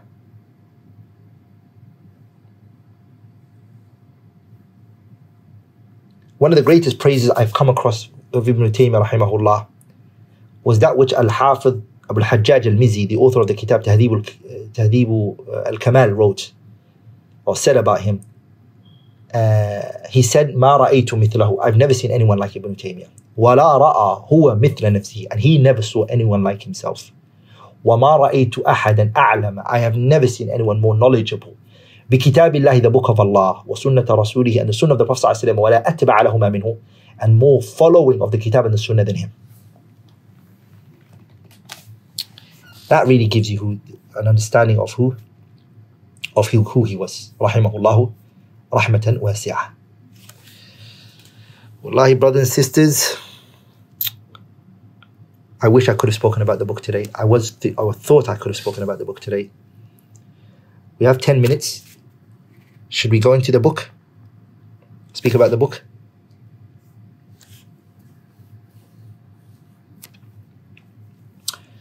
I think let's talk about the book, inshallah ta'ala. Okay, the kitab is called, so now we finished the author and who he was. We're now going to go into the kitab, then the book. Okay, the name of this book is what? The name of the book is called At Tadmuriyah. There are two views when it comes to this name. What, where did it come from? Okay, there's one view, which is that the word Tadmuriyah Tadmuriya, uh, it's an attribution to a city in Sham. And today, modern day, modern day Turkey. Okay? Modern day Turkey. A question came from a student of knowledge from this city, this Medina to Medina to Tadmur. And Shaykh al-Islam Taymiyyah, when a question would come to me from a particular place, it would be attributed to that place. Like Al-Wasitiyah, attributed to a place called Wasit. Al-Hamawiyah, attributed to a place called Hama. Are we all together? So the first view is that it's a nisba ila balad. It's a attribution to a particular city. Does that make sense? The first view is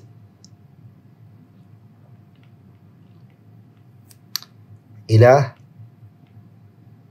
إلى بلد السائل. The questioner who asked the question, uh, the city he came from when he asked the question. That's, that's one view. Does everyone understand that view? Yeah?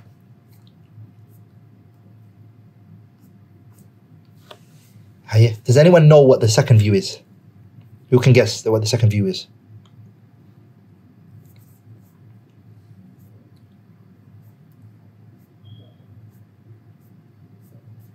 Does anyone, anyone have any other view what the second view is? Beautiful. And that is that the name Tadmuriya, it comes from yani to demir, it destroys the belief of the corrupted people. Tadmir, which is to destroy. Shaykh al-Islam ibn Taymiyyah, he was destroying the foundation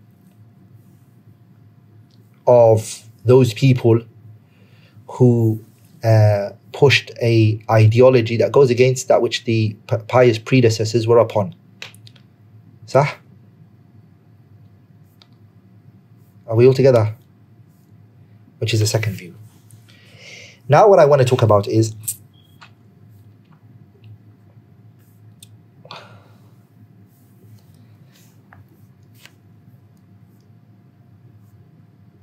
why is it important? Why have I chosen this book, and what is the importance of this book? Okay. I want to talk about Ahamiyatul Kitab, the importance of this book. Risalatul Tadmuri, as I mentioned, is min al-kutub al-salafiyya, kutub ahl sunnah which clarifies what? Aqidatu ahl sunnah It explains aqidatu ahl sunnati wal jama'ah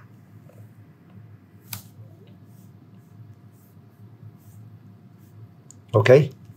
I'm going to summarize the benefit in, into four things. The first one is the importance of some of the things that he discusses that you rarely find any everywhere anywhere else. أهمية المواضيع.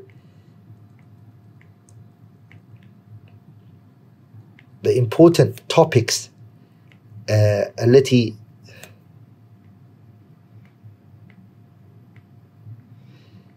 uh, بحثها.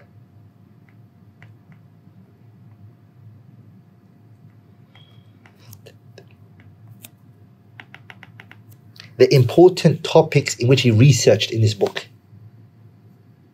And he really discusses, we're going to see it inshallah ta'ala.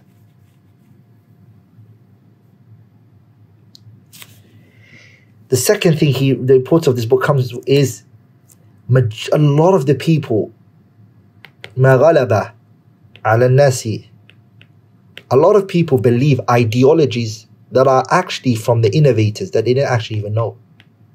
صح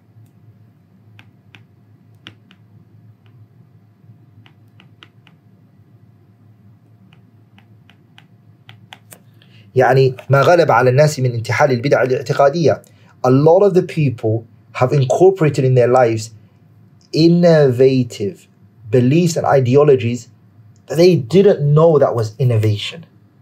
I didn't know this was innovation. Okay, I actually did not know this was innovation. Ibn Taymiyyah brings it to light for those people. The third importance that this book really has is the evidences he uses. يعني it teaches you how to use those evidences the way he does it. أدلة أقام أدلة أدلة في هذا الكتاب.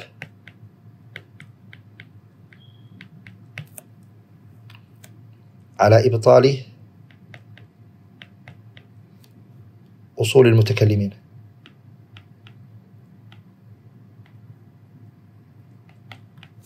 The, the third one is that he teaches you the evidences, how to apply those evidence, how to use it. I have ayah. How does this ayah benefit me in this matter? Oh, Allahumma barik. So it's like you're in a tafsir class. And the evidence is, is actually destroying what? Usul al-mutakallimin. When, when we say usul, it means under there, furu' many things fall under it. So he's giving you evidences that can destroy them from the base, from the foundation. So once you learn it, you can tackle their issues from a what? From a fundamental. Okay? Last but not least, the, the, the, there's really let, little Al Kutub Salafiyya, Qilat Kutub السلفية على هذه الطريقة there's little books of Salafis that have been written in this way Shaykh al-Islam Taymiyyah wrote it before or after him I mean after him people copied him used his طريقة like Ibn Uthaymeen al-Qawa'id al-Muthla he benefited from the Tadmuri of Shaykh al-Islam Taymiyyah especially the chapter when he does مناظرة أهل البدع and he uses the قواعد يعني the six or the seven principles Ibn Taymiyyah used in Tadmuriyah Ibn Uthaymeen took that from him and put it in his Qawaid al-Mutla. But before that, no, nobody, nobody, the principles he gives, no one saw it. The evidences and how he applied it, it was rare. Okay? So these three or four points actually show you the benefits of the uh, Imam's book, why it's so important to study this book. Okay, and I told you before, this is book is a summary of his works. And it's the last book when it comes to the ta'sil of Shaykh al-Islam Taymiyyah's works. Yani, Wasiti is the first, then the Hamawiyya is the second, and the last one is the Tadmuriyya. After that, Ibn Taymiyyah's works, they're not ta'sil anymore. They're rudud, munadara, يعني niqashat. He's, you're, you're not gonna, you're not gonna learn uh, ta'sil uh, purely from it. You're, you're, you're going to be exposed to uh, ideologies. So the higher you go, the more you get exposed to it. For, for example, Wasiti, he doesn't bring any doubts of theirs to the table per se. Okay? Hamawiyya, some things are there. At Tadmuriyya, he goes out onto them. So you're, you're, bit by bit, you're getting introduced to other groups out there. And then when you go to the other five books that I mentioned, you're now exposed to oceans of doubts and, and problems that are there.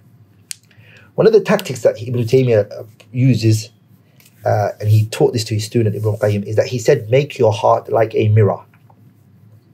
Make your heart like a what? He said to his student Ibn Qayyim, make your heart like a mir'at, a, a mirror. And don't make it like a sponge. Why? Because the sponge, it swallows things and it keeps it in.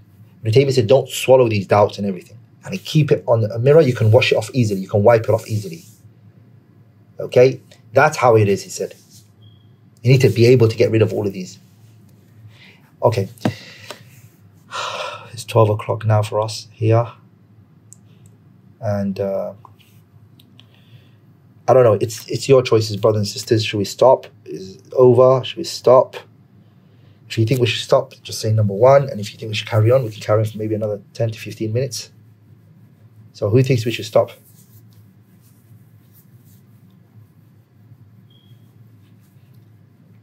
So say number one if you think we should stop. Number one if you think we should stop.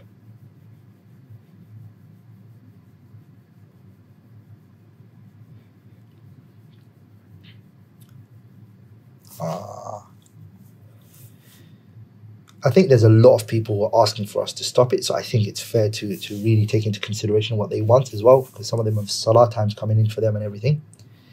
So I, I will stop there. Um, next lesson, inshallah ta'ala, I'm going to discuss Mabahithul Kitab, what this book deals with. So I'm going to give you all, inshallah ta'ala, an overview of the book. Brothers and sisters, pay attention to this. I'm going to give you an overview of the book, so well, inshallah ta'ala, structured, that when we go into the book, it will make so much sense for you. Like, what? It'll make so much sense for you. Like, okay, I understand here. Okay. So I'm going to break it down from that perspective. I'm going to try to give you a yani an overview of the whole entire kitab because uh, I've before uh, uh, yani I started the kitab this spe specifically this week. I did a talkhis of the kitab. I summarized it. I got rid of all the istidradat Ibn Taymiyyah came with and I wrote a mulakhas of the kitab. So the mulakhas is the, the, the, gist of what the book is about so that's basically the overview for you guys uh, even the mulakhas is uh, for me it's like uh, يعني 60 pages okay 62 pages without the fahras in there so I'll just make it into three four pages for you summarize even that one for you to give you the overview of what the book is inshallah ta'ala okay um, uh, yes I've taught the kitab al-aqidah al-wasatiyya and I have taught the aqidah al-hamawiyya before previously uh, some of you might ask okay this kitab should I study if I haven't done al-wasatiyya al-hamawiyya ideally it would be nice uh, to have studied Al Wasatiyah, at least Al Wasatiyah, of course. Uh, and if you did Al Hamawiyah, even better. But if you didn't, it happened that you didn't, no problem. The way I'm going to explain it, inshallah ta'ala, is going to be so, yani, we might spend on one line the whole entire lesson, the two hours. We might spend on just one line. Okay? And explain that and explain that and break that down and break it down, break it down, break it down, so you can all, inshallah ta'ala, benefit from it. Okay?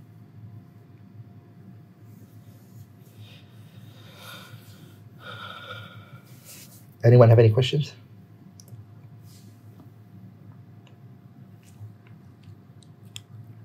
Does anyone have any questions?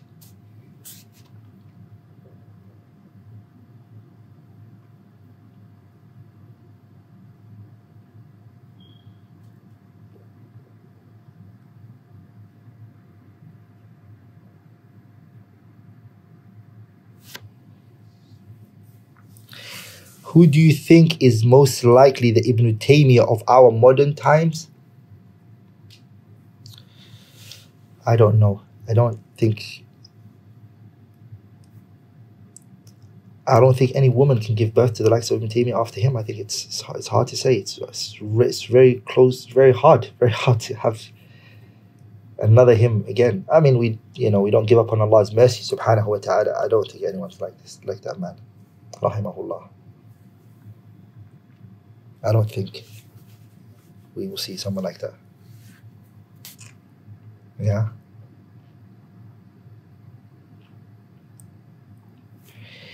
Um, uh, is this book suitable for one who studied most of Aqid Wasitiyah? Yes, yes, yes, inshallah. The way I'm going to be teaching is like I'm going to bring Aqid Wasitiyah in there. I'm going to bring yani, di- the previous books that you, sh- if you've not taken, I'll mention them here, inshallah. ta'ala.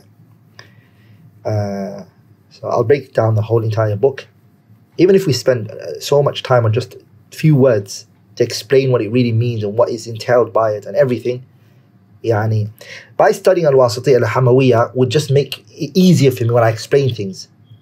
But it doesn't mean you won't understand. It will just make it يعني I'd have to explain it more and more the Tadmuriya does, does that make sense?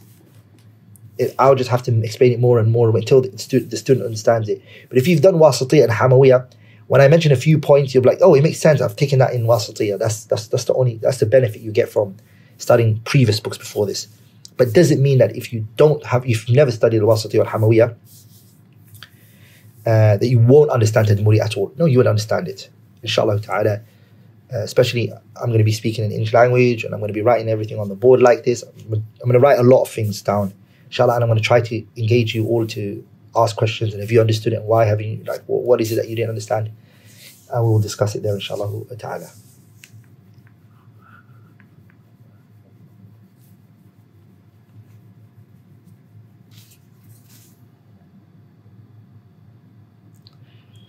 So a uh, good, good question was asked. Is, I had a question. Someone said the terms that Ibn Taymiyyah brings in wasatiyah, like a ta'wil and tamthil and etc. Were these terms prominently used by the innovators at his time? They, yes, they, they used it a lot. By the way, that's also another point that we're going to be talking about in this book. There's a section where he talks about the Shaykh rahimahullah ta'ala. He talks about al-fadh which are mujmala, ambiguous terms that are used. So inshallah ta'ala, as we talk about ta'wil and ta'til and the difference between the two, we'll discuss that inshallah ta'ala.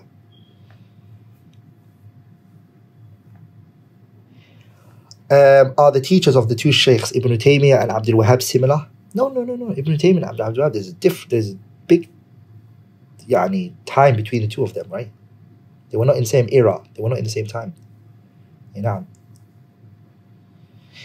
Um, someone asked a good question. They said, How long would this book take to finish, Ustad? I would say to all of you guys, don't worry about when it finishes and how long it takes. Be more concerned about understanding inshallah. I'll try my best to finish it uh, the quickest and the, the most yani, suitable time. But our concern is the understanding more than the, the, the how long is it going to take. Definitely, we're going to finish it, inshallah ta'ala. Definitely, we will. Uh, we will, inshallah ta'ala. Bidnillah al-Kareem from alive. Uh, but I'm not I'm not too restricted with the with the time. I I, I want to explain it in details. I want to go into yani, in great details for you to all understand the kitab. Bidnillah al-Kareem. Just like today, I went into details. That today what I did is exactly what I'm going to be doing through the whole entire explanation. Can one name uh, one's daughter Taymiyyah? Yes, of course you can. Of course you can. You can call your daughter Taymiyyah. In early generation, ta'wil and tafsir were synonymous. Yes, they were. Why did the scholars of later generations separate the meaning of those words? Again, this is something we're going to come to, inshallah ta'ala, when we talk about terms and words and how that affected the aqidah of many people. Because you're right, Ibn, Ibn Jarir tabari for example, he, yani he says in many places in his tafsir, actually, nearly everywhere, he'll say to you, uh, وَتَأْوِيلُ قَوْلِهِ قَوْلُهُ تَعَالَى يعني, in the word ta'wil here, he means uh, يعني tafsir, he means. And the usage of the word ta'wil, how many usages does it have in the Quran and in the Sunnah and Arabs and what they use it as? And even Ibn Taymiyyah, he, he avoided using the word uh, at-ta'wil in Aqid al-Wasatiyya when he, the munadara that he had. And he said, I avoided using the word ta'wil. Instead, I used the word tahrif. Uh, and why he did that. We're going to talk all about all of that, inshallah ta'ala. What is the definition of mujtahid mutlaq? In simple terms, a mujtahid mutlaq is a person who can do independent reasoning. He can look at the evidence and extract rulings from it. Whether there's someone who agrees with him or not, it doesn't matter. He looks at the Quran and the Sunnah and the principles that the scholars have put down, and from there he stipulates rulings on contemporary issues without looking at who preceded him or not. Yeah, no. Uh, and who reached, how many uh, scholars reached this status? It's, it's uh, you see, this concept of who reached and who hasn't reached it, it's, it's, it's, it's, it's, not in, it's not my place or anyone else to really say this person reached it and this person didn't. And sometimes a person can be a mujtahid mutlaq in a certain field and not necessarily in another field. Or someone might be a mujtahid mutlaq in the entire religion. وهكذا. Does that make sense? So, but one of the last people that was was mentioned to be a mujtahid mutlaq, one of the last people was uh, Imam Jalaluddin al-Suyuti. Okay? Someone asked a question and said, was Ibn Taymiyyah a Sufi? I will say to that person, inshallah ta'ala, try to finish with us this kitab, Tadmuriyah, and you're going to see if he was a Sufi. If he was a Sufi. But in a short term, in a short answer, no, he wasn't a Sufi. Uh,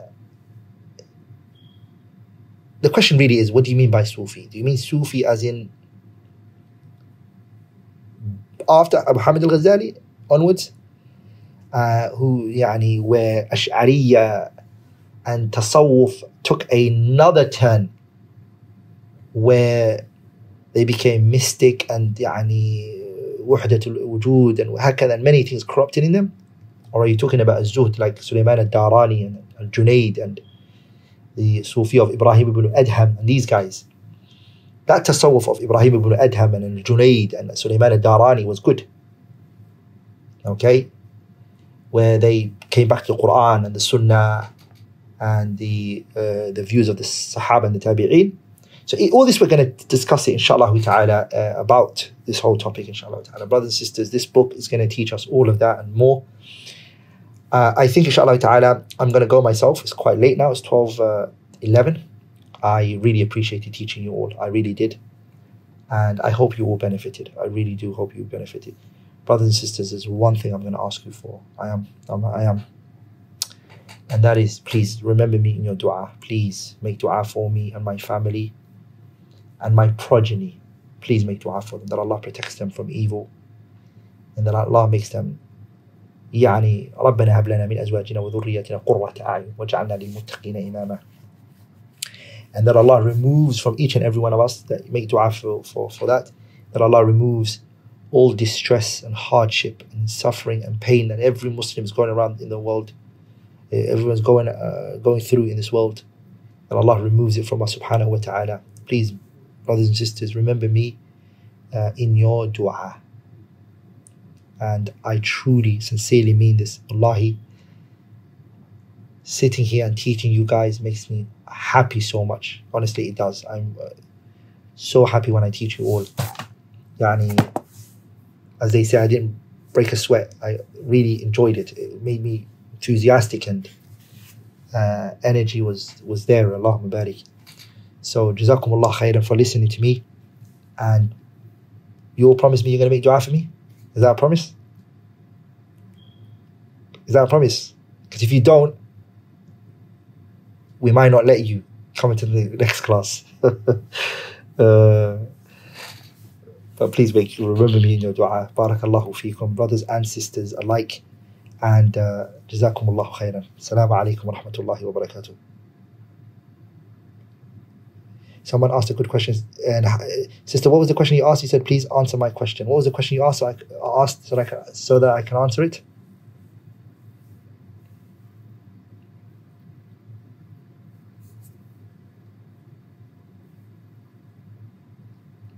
Can we fast on Mondays and Thursdays with the intention of losing weight alongside Sunnah?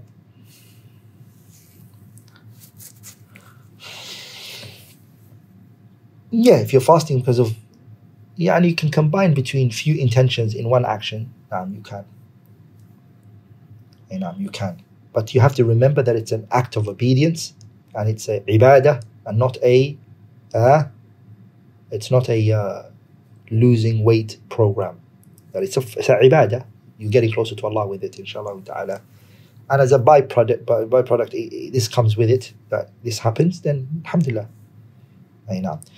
Uh, Assalamu brothers and sisters.